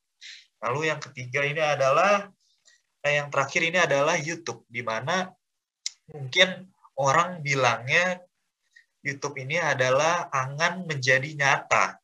Kenapa? Karena dengan bermain sosial media kita akan mendapatkan sebuah keuntungan berupa materi.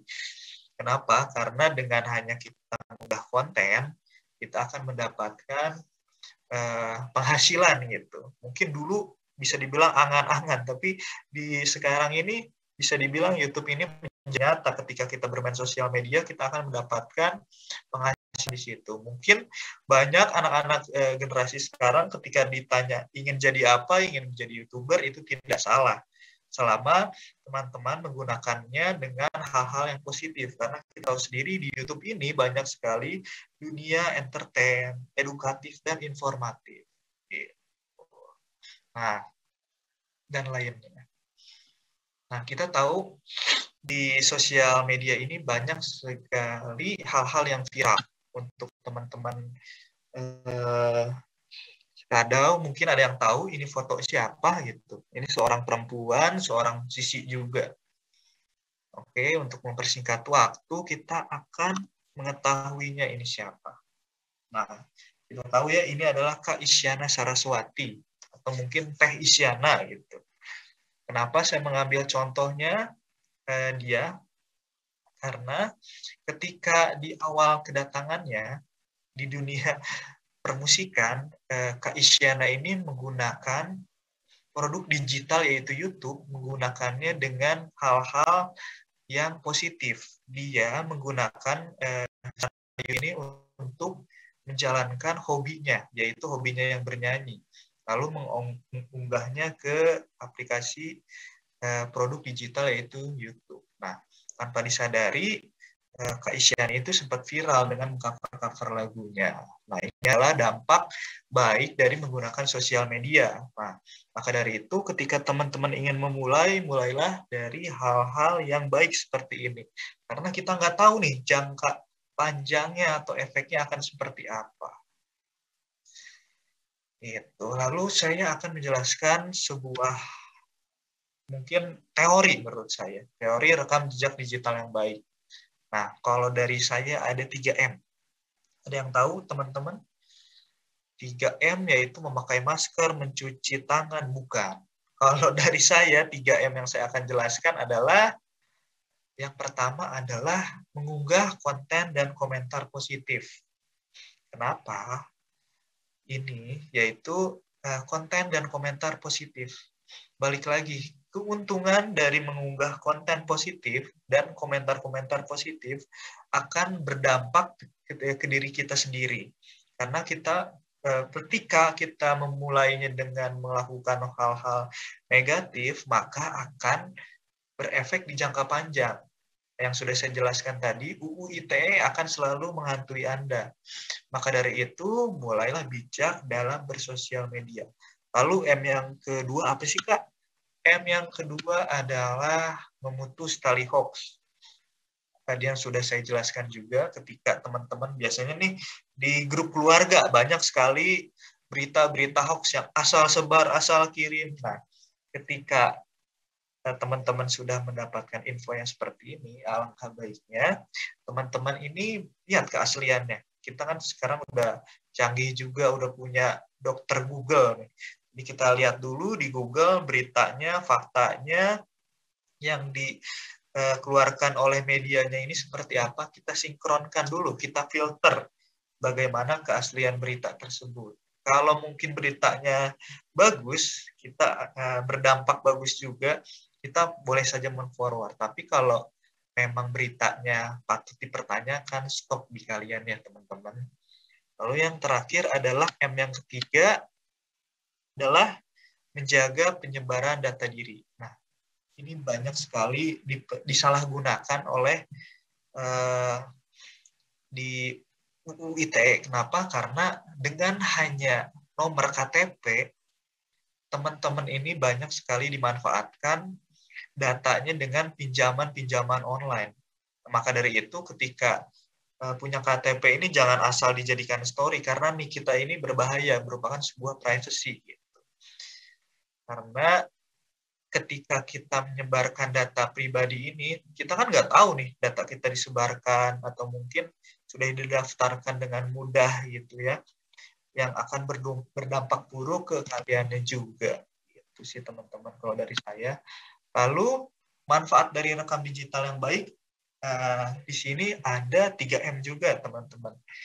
Yang pertama adalah menciptakan branding.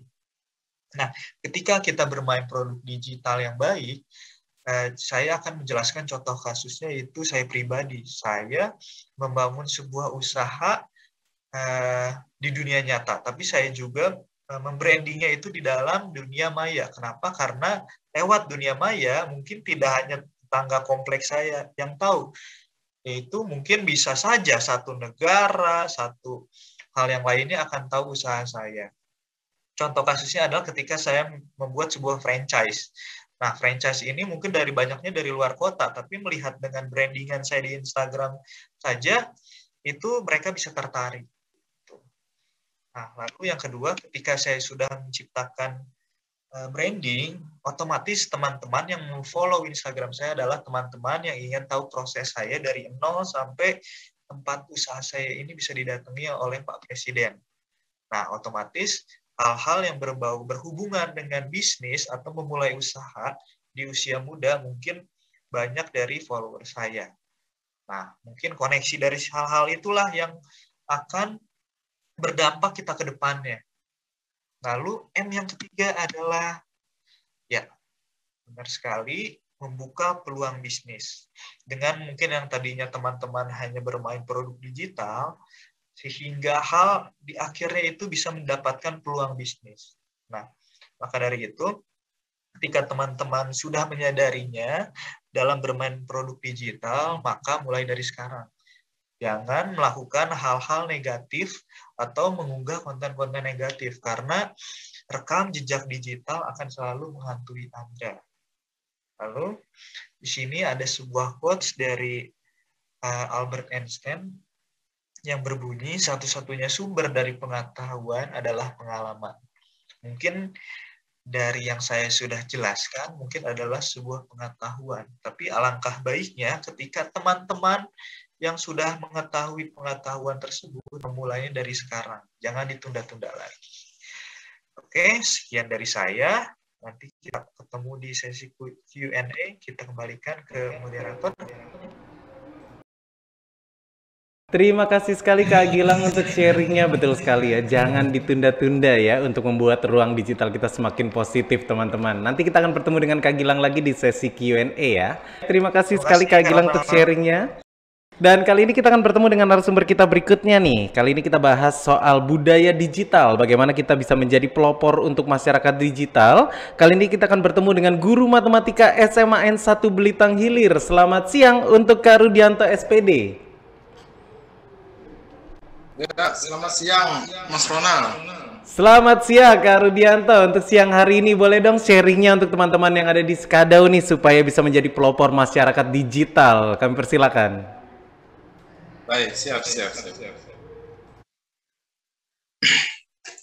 Baik. Bismillahirrahmanirrahim. Assalamualaikum warahmatullahi wabarakatuh. Uh, selamat sore dan salam sejahtera bagi kita semua. Ya, terima kasih sebelumnya terima kasih pada uh, Kak Ronald selaku pembawa acara. Kemudian salam hormat pada Bapak Bupati Skadau, Bapak Arun SH. Kemudian uh, hormat juga kepada siapa tadi ini uh, Bapak Dr. Muhammad Saiful Huda. Salam kenal Bapak. Kemudian uh, pada rekan narasumber Ana Sisilia. Kemudian Mas Gilang Alfianto, salam kenal Mas. Ya, salam dari Skadau. Kemudian tak lupa juga kepada teman-teman semua, uh, rekan guru, uh, siswa-siswi SMA Negeri 1 Belitang Hilir, siswa-siswi SMA Negeri 1 Skadau yang berpartisipasi ikut menjadi peserta dan para peserta semuanya uh, yang tak bisa saya sebutkan satu persatu dari seluruh Indonesia yang ikut dalam acara ini. Salam buat semuanya. Baik, uh, saya share uh, tentang materi. Oh ya, perkenalkan dulu, uh, saya Rudianto, guru dari SMA Negeri 1 Belitang Hilir. Baik, saya share uh, langsung ke materi.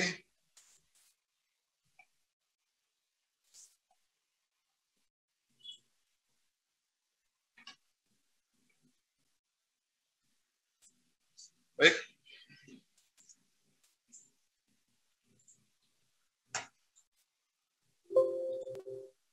Baik. Uh, materi saya kali ini menjadi pelopor masyarakat digital. Ya, menjadi pelopor masyarakat digital. Uh, baik, apa itu masyarakat digital? Mari mari kita mengingat sejarah terlebih dahulu. Nah, uh, pertama kita mengingat sejarah dulu, ketika tercetusnya revolusi industri pada abad ke-18 saat mesin uap ditemukan, nah itu cikal bakal manusia menggunakan mesin dan hingga sekarang di sekeliling kita tak luput dari yang namanya serba mesin. Nah, dengan kata lain, inilah yang kemudian berlanjut lagi yang kedua uh, industri 2.0 pada abad 20 di mana Thomas Alva Edison menemukan listrik, maka mulai saat itulah seluruh pekerjaan manusia sampai sekarang pun masih kita gunakan peralatan yang serba listrik, penerangan pakai listrik, alat dapur pakai listrik, alat kompor pakai listrik, dan semuanya serba listrik sampai saat ini. Nah, mati saja listrik satu hari, oh ribut kita bukan mainnya. Kemudian lanjut lagi yang ketiga, uh, industri 3.0. Berkembang lagi menjadi industri 3.0 ditandai dengan sistem komputasi dimulai tahun 1800-an saat mesin hitung ditemukan. Nah, jadi uh, waktu itu digunakan oleh Nazi di Jerman uh, yang komputer yang kita gunakan sekarang adalah hasil dari awal mula industri 3.0. Kemudian lanjut, inilah dia yang sekarang, industri 4.0 yang dikembangkan mulai dari 2000 sampai 2005. Nah, ini berlangsung ketika internet mulai berkembang, kemudian meningkat, memiliki kecepatan yang tinggi internet hingga saat ini kita gunakan. Kemudian kita lanjut perkembangan industri 4.0 eh, yang mendorong kita mau tidak mau harus bertransformasi dari masyarakat konvensional menjadi masyarakat yang harus melek digital. Nah, coba kita bayangkan sebelumnya kita berinteraksi sosial harus bertatap muka dulunya atau paling canggih dulunya hanya bisa kirim surat lah. Uh, namun beda di era sekarang dalam sekedip mata pesan kita sampai kepada penerimanya. Nah, proses interaksi sosial yang secara tidak langsung itulah yang kita katakan dengan masyarakat masyarakat digital. Baik, kita lanjut. Jadi eh, apa itu masyarakat digital? Jadi masyarakat digital masyarakat yang struktur sosialnya adalah jaringan dengan mikroelektronik berbasis informasi digital dan teknologi komunikasi. Kemudian apa tujuannya? Nah, tujuannya tak lain adalah meningkatkan efisiensi uh, dan produktivitas manusia. Yang kita temukan saat ini, hari-hari kita ditemani dengan smartphone, hari-hari kita dengan komputer, hari-hari kita berselancar dengan dunia dunia internet. Kemudian siapa pelopor dari masyarakat digital ini? Nah, siapa yang harus dituntut menjadi masyarakat digital? Uh, bahkan menjadi pelopor masyarakat digital. Nah, yang menjadi pelopor masyarakat digital tentunya seluruh manusia yang hidup di zaman ini. Ya, jadi hidup nih eh, jika tak menyesuaikan dengan zaman, maka jadi siap-siap kita menjadi manusia yang yang ketinggalan zaman dan keterbelakangan.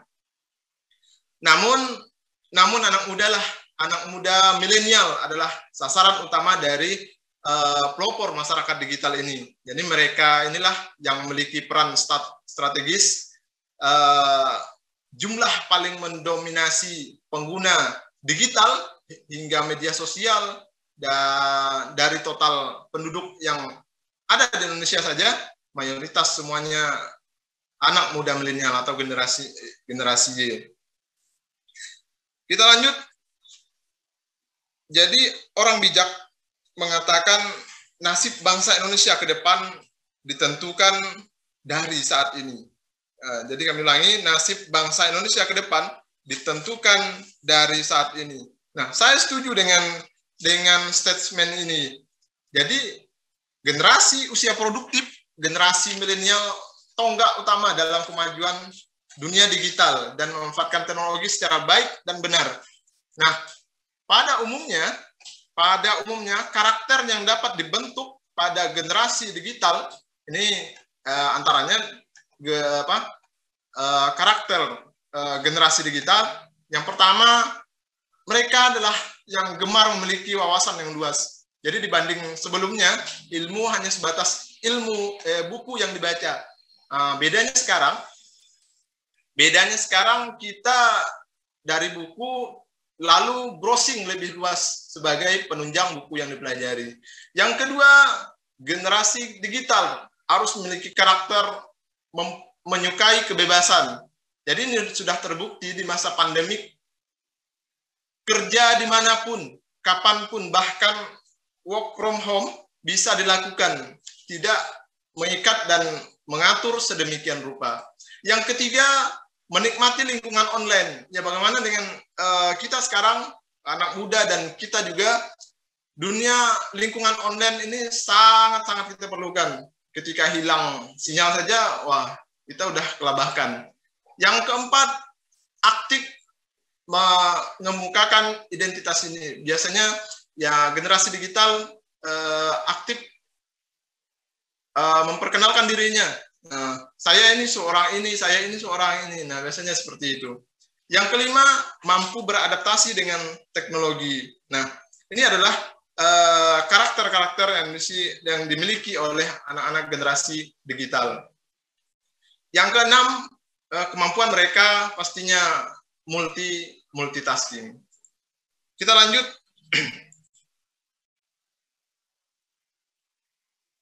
Pengguna media digital yang masih berapa banyak pelopor uh, masyarakat digital yang sudah ada. Jadi kemampuan kita untuk mempersiapkan diri menjadi masyarakat digital Indonesia karena kita sudah tidak bisa menghindar lagi sebagai pengguna media digital yang yang yang masif. Jadi selain itu dari sebaran jangkauan teknologi hampir menyeluruh dan ini dipengaruhi oleh uh, kemajuan iptek informasi yang terbuka, perkembangan teknologi digital, peningkatan pendidikan masyarakat secara rata dan pergeseran minat atau tren masyarakat pada saat ini. Nah, apa yang harus dimiliki oleh pelopor masyarakat uh, digital? Yang pertama, jadi masyarakat digital, pelopor masyarakat digital harus memiliki creativity fluency. Apa itu? Yaitu mereka memiliki kreativitas yang tinggi. Nah, kreativitas yang tinggi ini yang bisa dimanfaatkan. Yang kedua, collaboration fluency. Nah, yakni uh, mereka memiliki kepeyauan dalam bekerja sama dengan orang-orang sekitar. Yang ketiga, uh, media fluency. Jadi uh, mampu memahami dan melakukan hal berkaitan dengan media digital. Yang keempat, information fluency. Nah, ini mampu memahami, membangun, dan menyeleksi informasi yang positif. Kemudian, lanjutlah dia dengan solution fluency. Nah, ini mampu memberikan solusi di uh, wilayah digital sekitar kita. Nah, uh, untuk menjadi pelopor masyarakat digital, hal yang perlu dikuasai paling utama adalah empat pilar digital uh, yang meliputi ini yang kita sedang jalankan, yaitu yang pertama uh, digital skill atau kecakapan digital, nah, kemampuan individu dalam mengetahui, memahami, menggunakan perangkat keras piranti lunak TIK serta sistem operasi digital. Kemudian yang kedua uh, digital etik atau etika digital. Nah, yang etika berdigital yang baik dalam kehidupan sehari-hari kita yang disampaikan tadi oleh uh, Ibu Ana Sisilia. Kemudian yang ketiga, budaya digital. Kemampuan kita menerapkan budaya dan uh, masukkan nilai-nilai Pancasila dalam uh, berdigital. Yang keempat adalah uh, keamanan digital atau digital safety. Nah, ini uh, agar kita menjaga keselamatan diri dalam ber uh, berdigital. Kita lanjut, mengapa harus menjadi pelopor masyarakat digital? Nah, transformasi masyarakat digital tentu tujuannya adalah melayani lebih uh, efisien, mudah, dan sangat cepat. Nah, bayangkan, bayangkan dulu ketika berkomunikasi jarak, jarak jauh, jadi yang tak semudah uh, hari ini, orang dulunya hanya bisa menulis surat yang sampai ke penerimanya bisa berhari-hari, bahkan berminggu-minggu sampai berbulan-bulan nah, dulunya. Nah, dan contoh paling nyata dalam perpindahan dunia digital, sebut saja yang lagi marak sekarang layanan ojek daring misalnya. Nah, jadi kalau dulunya harus ke pangkalan ojek. Kalau sekarang tinggal eh, ada di genggaman. Kemudian mau nonton film kesayangan, tak perlu harus ke pasar untuk mencari DVD. Yang dulunya seperti itu memang. Atau jauh lebih canggih saat orang yang misalnya merindukan uh, keluarganya yang jauh yang di seberang sana, jadi kita dimudahkan dengan dunia digital, tinggal video call. Nah, kemudian berkomunikasi, mulai dari telepon, email, bahkan kecakapan melalui media sosial, uh, bisa dipilih sesuai kebutuhan dengan biaya yang relatif murah. Nah, uh, masyarakat digital juga uh, dimanjakan dengan berbelanja dengan mudah. Jadi tidak perlu pergi ke pasar, tidak perlu harus capek-capek ke pasar, dalam kamar kadang-kadang pun bisa berbelanja. Kemudian transaksi tanpa dompet. Nah, tanpa dompet orang tinggal transfer-transfer saja. Lanjut praktis saat berpergian. Uh, kalau dulunya pesan tiket kita harus uh, turun dari rumah. Nah sekarang hanya uh, memesan tiket dari genggaman saja. Nah ini kemudian uh, sarana informatif, sarana informasi kita. Kita lanjut. Apa akibatnya jika tak menjadi uh, pelopor masyarakat digital? Jadi digitalisasi adalah upaya dalam meningkatkan mutu bagi uh, seluruh aspek. Jadi masyarakat dituntut bergerak cepat. Cepat dalam apa? Mengikuti perkembangan teknologi yang kian maju.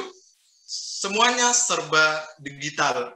Misalnya belajar digital kemarin ketika uh, pandemi lagi marak-maraknya kita harus belajar uh, jarak jauh kemudian interaksi digital jadi media sosial yang kian banyak kemudian belanja digital marketplace di dalam genggaman pembayaran digital uh, kemudian hampir semua aspek budaya ekonomi kemasyarakatan pendidikan sudah melibatkan uh, digital Nah, kemudian apabila masyarakat tidak peka, nah bagaimana uh, apabila masyarakat tidak peka dengan masyarakat digital ini, nah, maka uh, ini akan ketinggalan bahkan akan tersisihkan. Misalnya betapa repotnya pemerintah, misalnya kalau tak menggunakan uh, digital saat ini. Kemudian pelajar tak bisa daring, misalnya akan mendapat perlakuan berbeda dan lainnya. Nah, dulu dari marak-maraknya pandemi, maka pelajar kebingungan jika tak ada uh, digital, harus belajar dengan konvensional. Yang ketiga, pedagang tak melek digital. Nah, sama sama juga mereka akan tergeser oleh penjual yang aktif di dunia digital secara online. Kemudian lanjut lagi misalnya petani, petani, petani juga tak tak bisa digital juga kalah dengan petani yang jangkauannya jauh Eh, dengan uh, digital. Maka uh, mari kita melek digital menjadi pelopor masyarakat digital. Oke, uh, sekian itu saja yang dapat saya sharing pada kesempatan kali ini. Jika uh, ada yang kurang dalam penyampaian saya, saya mohon maaf yang sebesar-besarnya. Saya kembalikan kepada uh, Mas Ronald. Silakan Mas Ronald. Baik, terima kasih sekali sharingnya untuk siang hari ini Kak Rudianto. Nanti kita akan ketemu di sesi Q&A ya. Dan kali ini teman-teman kita langsung saja masuk di sesi question and answer di mana kita akan membantu untuk memilihkan beberapa pertanyaan yang mungkin mewakili pertanyaan dari teman-teman peserta yang lain. Kali ini kita akan bertemu dengan narasumber kita yang pertama yaitu Dr. M. Sofiul Huda MF untuk membantu menjawab pertanyaan dari Ono Desutono nih. Untuk Pak Sofiul, di era modern ini setiap orang pasti pernah meninggalkan jejak digital, entah itu di media sosial maupun platform lainnya. Kemudian apa saja bahaya yang dapat ditimbulkan dengan menyisakan digital uh, rekam jejak digital kita di masa lalu? Mungkin bisa dibantu jawab untuk dampak-dampaknya secara singkat, kami persilakan. Oke, uh, sebagaimana yang saya sampaikan tadi ya, uh, hidup di dunia maya itu hampir sama dengan hidup di dunia nyata gitu ya. Itu mindset yang perlu kita bangun oleh karena itu apa yang kita lakukan di dunia maya kalau itu langkah kegiatan-kegiatan positif tentunya akan membawa positif bagi diri kita secara khusus dan bagi e, masyarakat secara umumnya. Kalau apa yang kita lakukan itu negatif ya akan berdampak negatif, yakin itu. Jadi apa yang kita lakukan juga akan berdampak diri kita secara khusus dan kepada masyarakat secara umum itu akan ada dampaknya. Baik positif negatif pasti ada dampaknya ya. Nah, segala apa yang kita lakukan pasti berdampak bagi kehidupan kita ini tidak hanya di kehidupan di eh, di di akhirat nanti tapi bisa jadi itu berdampak langsung pada kehidupan kita di dunia ini secara langsung gitu ya. Oke, uh, sebetulnya saya sudah men-scanning dari beberapa pertanyaan ada tujuh aspek ini pertanyaan yang mungkin saya secara cepat bisa menjawab ya. Yang pertama tentang identitas digital ya, harus dilatih ya. Kita membuat identitas digital di dunia maya itu jujur, berlatih jujur Sebab kalau kita terlatih jujur eh, dengan identitas yang jujur, maka kita akan hati-hati di situ. Sekali kita mencoba menggunakan identitas yang tidak jujur, maka kita akan dilatih untuk tidak jujur di situ. Nah, dan dilatih untuk tidak hati-hati. Kita akan teledor itu. Kalau kita sudah memanipulasi diri kita, identitas digital kita, maka bisa jadi apa yang kita lakukan di dunia maya itu juga penuh dengan manipulatif gitu ya. Hati-hati. Apakah footprint bisa berdampak? Footprint, uh, fingerprint mungkin ya. Kalau footprint saya belum menemukan apakah ada teknologi kalau footprint itu bisa eh, berdampak di dunia digital. Footprint ditaruh di mana? Di print di printer atau di mana itu? Mungkin kalau fingerprint itu bisa berdampak karena ini terkait dengan identitas uh, finger kita itu ya. Itu kadang-kadang ya harus hati tetap hati-hati juga ya. Di samping tadi itu NIK kita, nomor HP bahkan nomor HP kita juga harus hati-hati. Kita sharing pada siapa gitu ya. Kemudian terkait dengan pemasaran dan marketing jelas ya Eh, pemanfaatan media digital itu harus clear, jelas apa yang kita pasarkan, kita jual itu, dan, dan kembali lagi harus jujur ya. Spek yang kita berikan di dalam uh, produk kita yang kita share di media sosial harus sesuai dengan apa yang senyatanya, jangan memanipulasi. Sekali kita memanipulasi maka akan di, di, di, dicatat oleh orang lain dan itu tercatat menjadi catatan negatif gitu ya. Kemudian anak-anak ya ini yang harus hati-hati ya kita semuanya anak-anak itu penuh dengan uh, keinginan, penuh dengan uh, apa ya rasa ingin tahu. Dan kita tahu anak-anak psikologisnya akan belum belum dewasa ya, maka perlu didampingi orang tua, guru, guru BK, guru PP, hati-hati anak-anak kita. Anak-anak kita bukan berarti harus tidak mengenal uh, medsos ya, mengenal tapi pada wilayah-wilayah yang uh, secara praktis langsung bermanfaat. Tapi harus didampingi itu ya jangan sampai ya anak-anak pasti uh, semuanya akan dibuka gitu kan misalnya. Nah, dan rasa ingin tahunya akan luar biasa. Lebih baik, lebih bijak kalau didampingi orang tua, guru BK dan harus dilatih untuk didampingi. Jangan sampai dia menjadi anak yang maaf ya, liar dan sebagainya. Nanti ke depannya akan tidak semakin bisa dikontrol. Gitu. Kemudian keamanan link server yang mana yang bisa dipercaya. Nah, biasakan untuk mengakses link server yang dari institusi atau lembaga yang terpercaya atau domain yang sudah jelas dikenal. Jangan sampai kita ter, uh, ini ada iming-iming dari domain misalnya hadiah atau bonus apa itu hati-hati itu ya. Uh, hari gini masa ada orang ngasih kita gratis tanpa ada jasa dan yang kita berikan dan gitu aja cara berpikirnya. Jadi jangan mudah so. untuk uh, diberi iming-iming gitu ya, jangan yeah. hanyut oleh iming-iming di medsos itu. Kemudian apakah medsos untuk kebutuhan intelektual, sosial, ekonomi?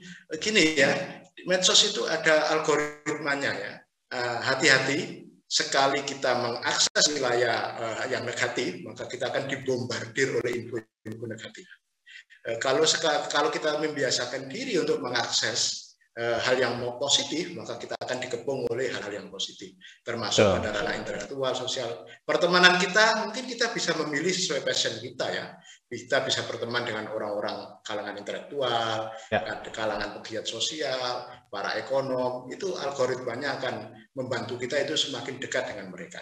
Jadi algoritma Baik. medsos itu akan mendekatkan kita kepada mereka dengan lebih cepat dibanding dengan kita tidak memanfaatkan media digital. Yang Baik. terakhir, ya. uh, bagaimana kita tahu kalau keluarga kita masuk pelanggaran? Ya gini caranya, kalau kita dengan keluar orang lain, dengan teman yang bukan keluarga saja kita um, seolah-olah menyatu di dalam medsos. Bagaimana dengan keluarga kita? Kita jaga keluarga kita, Eh, bagaimana komunikasi, kemudian saling sharing data, eh, saling sharing komunikasi, semakin sering komunikasi dengan keluarga kita, maka suatu ketika eh, keluarga kita terjerumus di dalam wilayah-wilayah negatif, kita akan cepat tahu. Jadi ada, maaf ya, mungkin algoritmanya akan cepat memberitahu kita bahwasanya Betul. keluarga kita ada yang memasang konten negatif atau apa itu akan cepat diberitahukan ke kita kalau kita sering komunikasi dengan mereka. Kalau kita lama tidak ya. komunikasi, maka kita akan semakin menjauh di medsos dengan keluarga kita.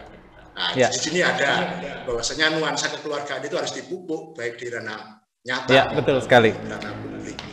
Ya. Oke, terima kasih Mas ya. Ronald. Saya kira itu sepakat sekali dengan Pak Sofil. Terima kasih. Tadi ibaratnya ini semua pertanyaan dibantu jawab sama Pak Sofil nih kayaknya. semua pertanyaan udah langsung komplit jawabannya. Terima kasih sekali untuk sharingnya. Betul sekali karena kita memang sudah pernah di posisi ini. Jadi kita harapannya adalah untuk generasi yang mendatang ini supaya tidak memiliki rekam jejak digital seperti kita. Harusnya rekam jejak digital mereka masih bagus-bagus positif semua. Semoga bisa terbentuk juga. Nah ini mungkin untuk menebali juga. Kali ini kita akan bertemu dengan narasumber kita berikutnya untuk Kak Ana nih. Ini untuk menebali juga yang sudah disampaikan oleh Pak Sofil tadi. Untuk pertanyaan dari Dias Iskandar ini juga lebih banyak tentang uh, warganet yang dengan gampangnya membagikan informasi pribadi di internet padahal hal tersebut berisiko mendatangkan masalah serius. Nah, untuk menyikapi hal-hal seperti ini untuk masyarakat-masyarakat yang masih awam di dunia teknologi terutama di kolom komentar ya, kira-kira bagaimana untuk menyikapi teman-teman ini supaya rekam jejak digitalnya di kolom komentar supaya bisa yang positif terus bukan yang haters-haters atau hate speech. Mungkin Kak Ana bisa membantu menanggapi secara singkat kami persilakan. Ya baik, terima kasih Mas Ronald. Ya untuk orang-orang uh, atau netizen-netizen yang suka posting tidak dipikirkan dulu itu sebenarnya tidak bisa kita kontrol secara uh, keseluruhan. Jadi itu adalah hak pribadi, hak masing-masing. Namun uh, kita bisa membantunya dengan memberikan pembelajaran tadi. Nah, ruang digital ini, literasi digital yang sedang kita lakukan sekarang ini adalah salah satu pelajaran atau edukasi. Dan saya harap uh, orang tadi atau netizen tadi itu ikut juga dalam kegiatan kita. Jadi dia bisa mendapat pelajaran, jadi dia bisa tahu apa sih rekam digital positif yang bisa saya lakukan, apa sih yang harus saya rem, yang tidak perlu saya publikasi dan tidak perlu semua orang tahu. Nah, jadi saya rasa dia harus ikut webinar ini biar dia lebih mantap lagi pengetahuan dan pembelajarannya. Baiklah, terima Sepakat kasih. sekali dengan Kak Ana. Betul sekali. Rajin-rajinlah mengikuti literasi digital seperti ini, guys, gitu ya. Karena ini gratis dan kalian bisa keluar dari sini dengan positif, gitu kan. Terima kasih Kak Ana sudah mengingatkan ya. Dan kali ini kita juga bakal bertemu dengan Kak Gilang nih untuk membantu menebalkan juga untuk menggarisbawahi bahwa kita memang harus uh, lebih mengenalkan lagi untuk yang namanya rekam jejak digital nih dampak-dampaknya seperti apa. Nah, kali ini pertanyaan dari Niko Novian Pratama nih untuk Kak Gilang. Secara sadar maupun tidak, setiap hari kita meninggalkan jejak di dunia maya melalui unggahan kita, komentar, situs laman, dan media sosial kita kunjungi. Nah, sebenarnya seberapa perlu sekarang? Ini sekarang merangkum dari semua yang disampaikan oleh Pak Sofil dan juga Kak Ana nih. Seberapa penting dari skala mungkin dari 1 sampai 10 pentingnya kita menjaga rekam jejak digital kita supaya tetap positif. Mungkin Kak Gilang dapat membantu menjawab pertanyaan ini kami persilakan. Oke, terima kasih Kak Ronald. Saya mencoba menjawab dari pertanyaannya. Seberapa penting kalau ditanya itu sangat penting. Kenapa? Karena saya sudah menjelaskan bahwa efeknya ini akan jangka panjang. Karena ketika kita memposting hal-hal negatif, belum tentu uh, ketika kita mengapply ke perusahaan ini yang dilihat adalah rekam jejak digitalnya. Karena tidak hanya perusahaan swasta ya, sekarang BUMN dan lain-lain pun eh, melihat rekam jejak digital kita. Itu yang pertama. Lalu yang kedua ini banyak sekali dari rekam jejak digital yang kita jalankan itu banyak disalahgunakan oleh orang, yaitu secara tidak langsung menimbulkan pencemaran nama baik. Itu poin keduanya.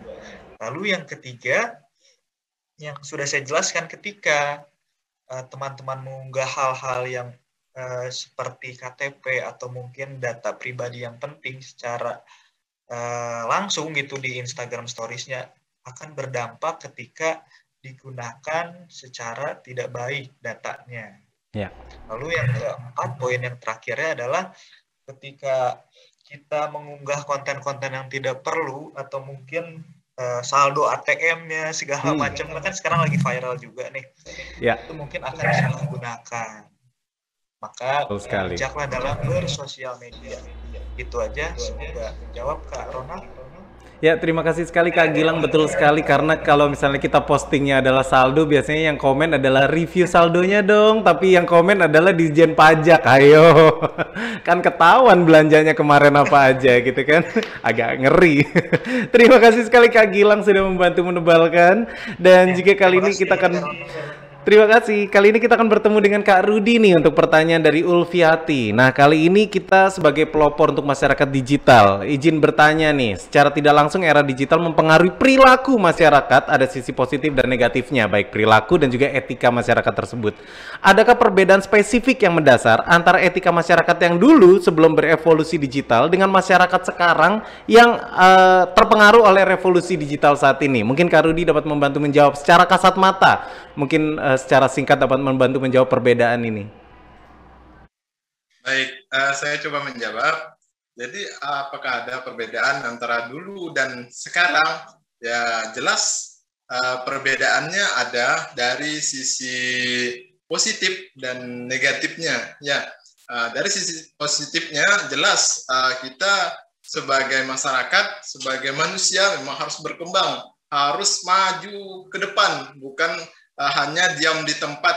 Uh, jadi masyarakat dulu yang uh, secara konvensional, misalnya berbelanja, misalnya tentang pembayaran, atau misalnya pun dalam pertanian sekalipun misalnya, nah sekarang memang harus berkembang. Kita dalam teknologi digital ya harus uh, mengikuti perkembangan zaman, harus juga mengikuti uh, apa ke ranah ranah digital. Nah, apakah ada pengaruhnya? Apakah ada dampaknya? Jelas ada se, uh, dari segi positifnya ya kita berkembang jauh dari yang uh, dulunya kita secara uh, konvensional, secara manual. Nah sekarang kita jauh maju ke depan. Negatifnya bagaimana? Negatifnya juga jelas ada. Negatifnya jika orang tidak, uh, jika kita tidak bisa membatasi diri, maka uh, dunia digital ini bisa me, uh, apa, uh, orang bisa terlena dengan dunia digital dan dunia nyatanya hilang. Ketika uh, kita lihat saja orang berkumpul kadang-kadang uh, asik dengan uh, gadgetnya tapi tidak menghiraukan uh, teman yang ada di sampingnya. Jadi uh, kita harus pandai-pandai dalam membawa diri dari uh, ambil yang positifnya, buang yang negatifnya. Mungkin itu saja Kak Ronald, terima kasih. Sepakat sekali dengan Kak Rudi bahwa sebetulnya tanpa disadari kita pun menjadi sedikit bertambah untuk pengetahuan kita baik tentang syarat dan ketentuan yang tadinya kita malas baca ternyata kita sekarang setiap kali bertransaksi ada yang namanya syarat dan ketentuan. Kemudian juga kita jadi tahu cara penggunaan aplikasi yang dulunya juga belum pernah menggunakan aplikasi itu jadi paham juga dan itu perubahan-perubahan yang tentunya harusnya membawa hal yang positif ya. Terima kasih sekali Kak Rudi supaya kita semua bisa menjadi masyarakat digital. Pelopornya adalah dari kita kita sendiri. Dan tentu saja kali ini kami mohon maaf tidak bisa semua pertanyaan dapat diajukan kepada seluruh narasumber. Namun sekali lagi kami akan mengumumkan siapa saja para peserta yang akan mendapatkan giveaway untuk pulsa ataupun imani total 1 juta rupiah. Kali ini kita akan ketemu dengan para calon peserta yang akan melalui proses verifikasi.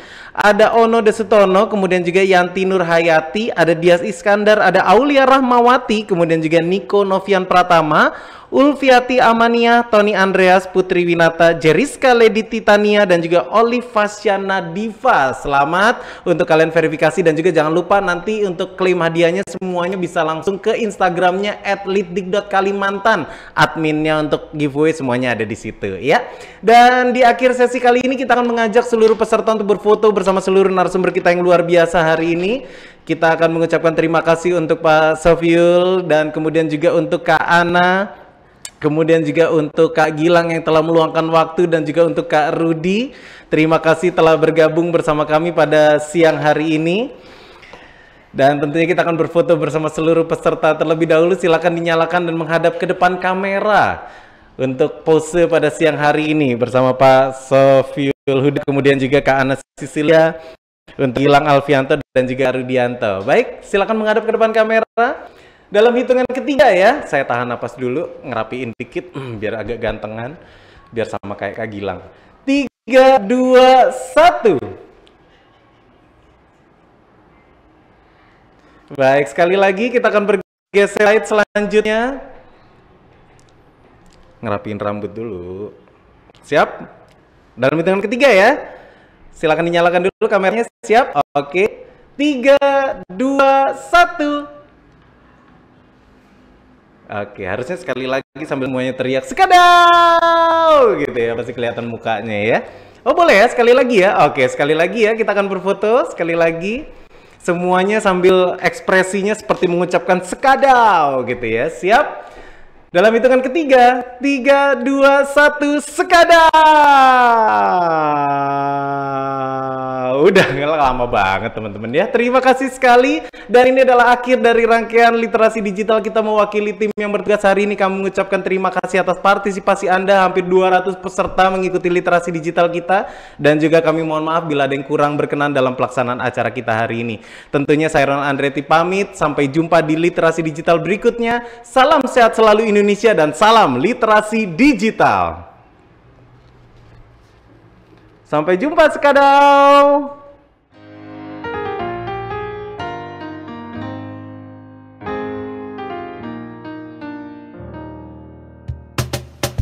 Tolong-tolong aku melolong Baca sosmed bikin aku bengong. Banyak berita isinya bohong. Bikin orang jadi saling menggonggong. Seperti ada niat sebar kebencian Tanpa peduli akan ada kerugian. Seperti dapat munculnya permusuhan Karena tertipu jadi curigaan. Gue pernah baca hoax di sosmed Yang jadi merugikan tukang trompet. Katanya trompet bisa bikin kanker. Trompet sih cuma bisa bikin bibir doer. Sylvester Stallone dibilang mati. Brad Pitt juga dibilang mati. Mr. Bean, Jackie Chan juga dibilang mati. Seneng banget doain orang mati. Eh. Harusnya ada etikanya Bermain sosial media. Tak bisa asal mengirim Tanpa dipikirin Bisa fatal akibatnya. Bersihkanlah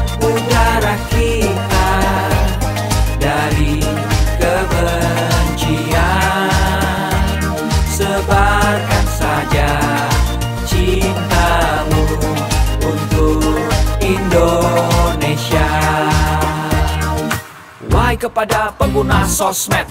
Mari bersatu sampai lengket. Jagalah persatuan jangan lobet. Hati-hati banyak tukang copet. Hey jangan sampai salah posting. Bisa bikin orang jadi pusing. Cek dulu, cek dulu itu penting. Jangan jadi cepat terpancing. Gue pernah takut salah minum. Karena bahaya buat tulang sumsum Hampir semua merek disebutkan. Gara-gara itu gue kehausan. Gue tertipu isu PKI Katanya jutaan sudah dipersenjatai. Akibatnya gue keluar biaya. Bikin persembunyian bawah tanah. Harusnya ada etikanya. Bermain sosial media. Tak bisa asal mengirim Tanpa dipikirin Bisa fatal akibatnya. Bersihkanlah udara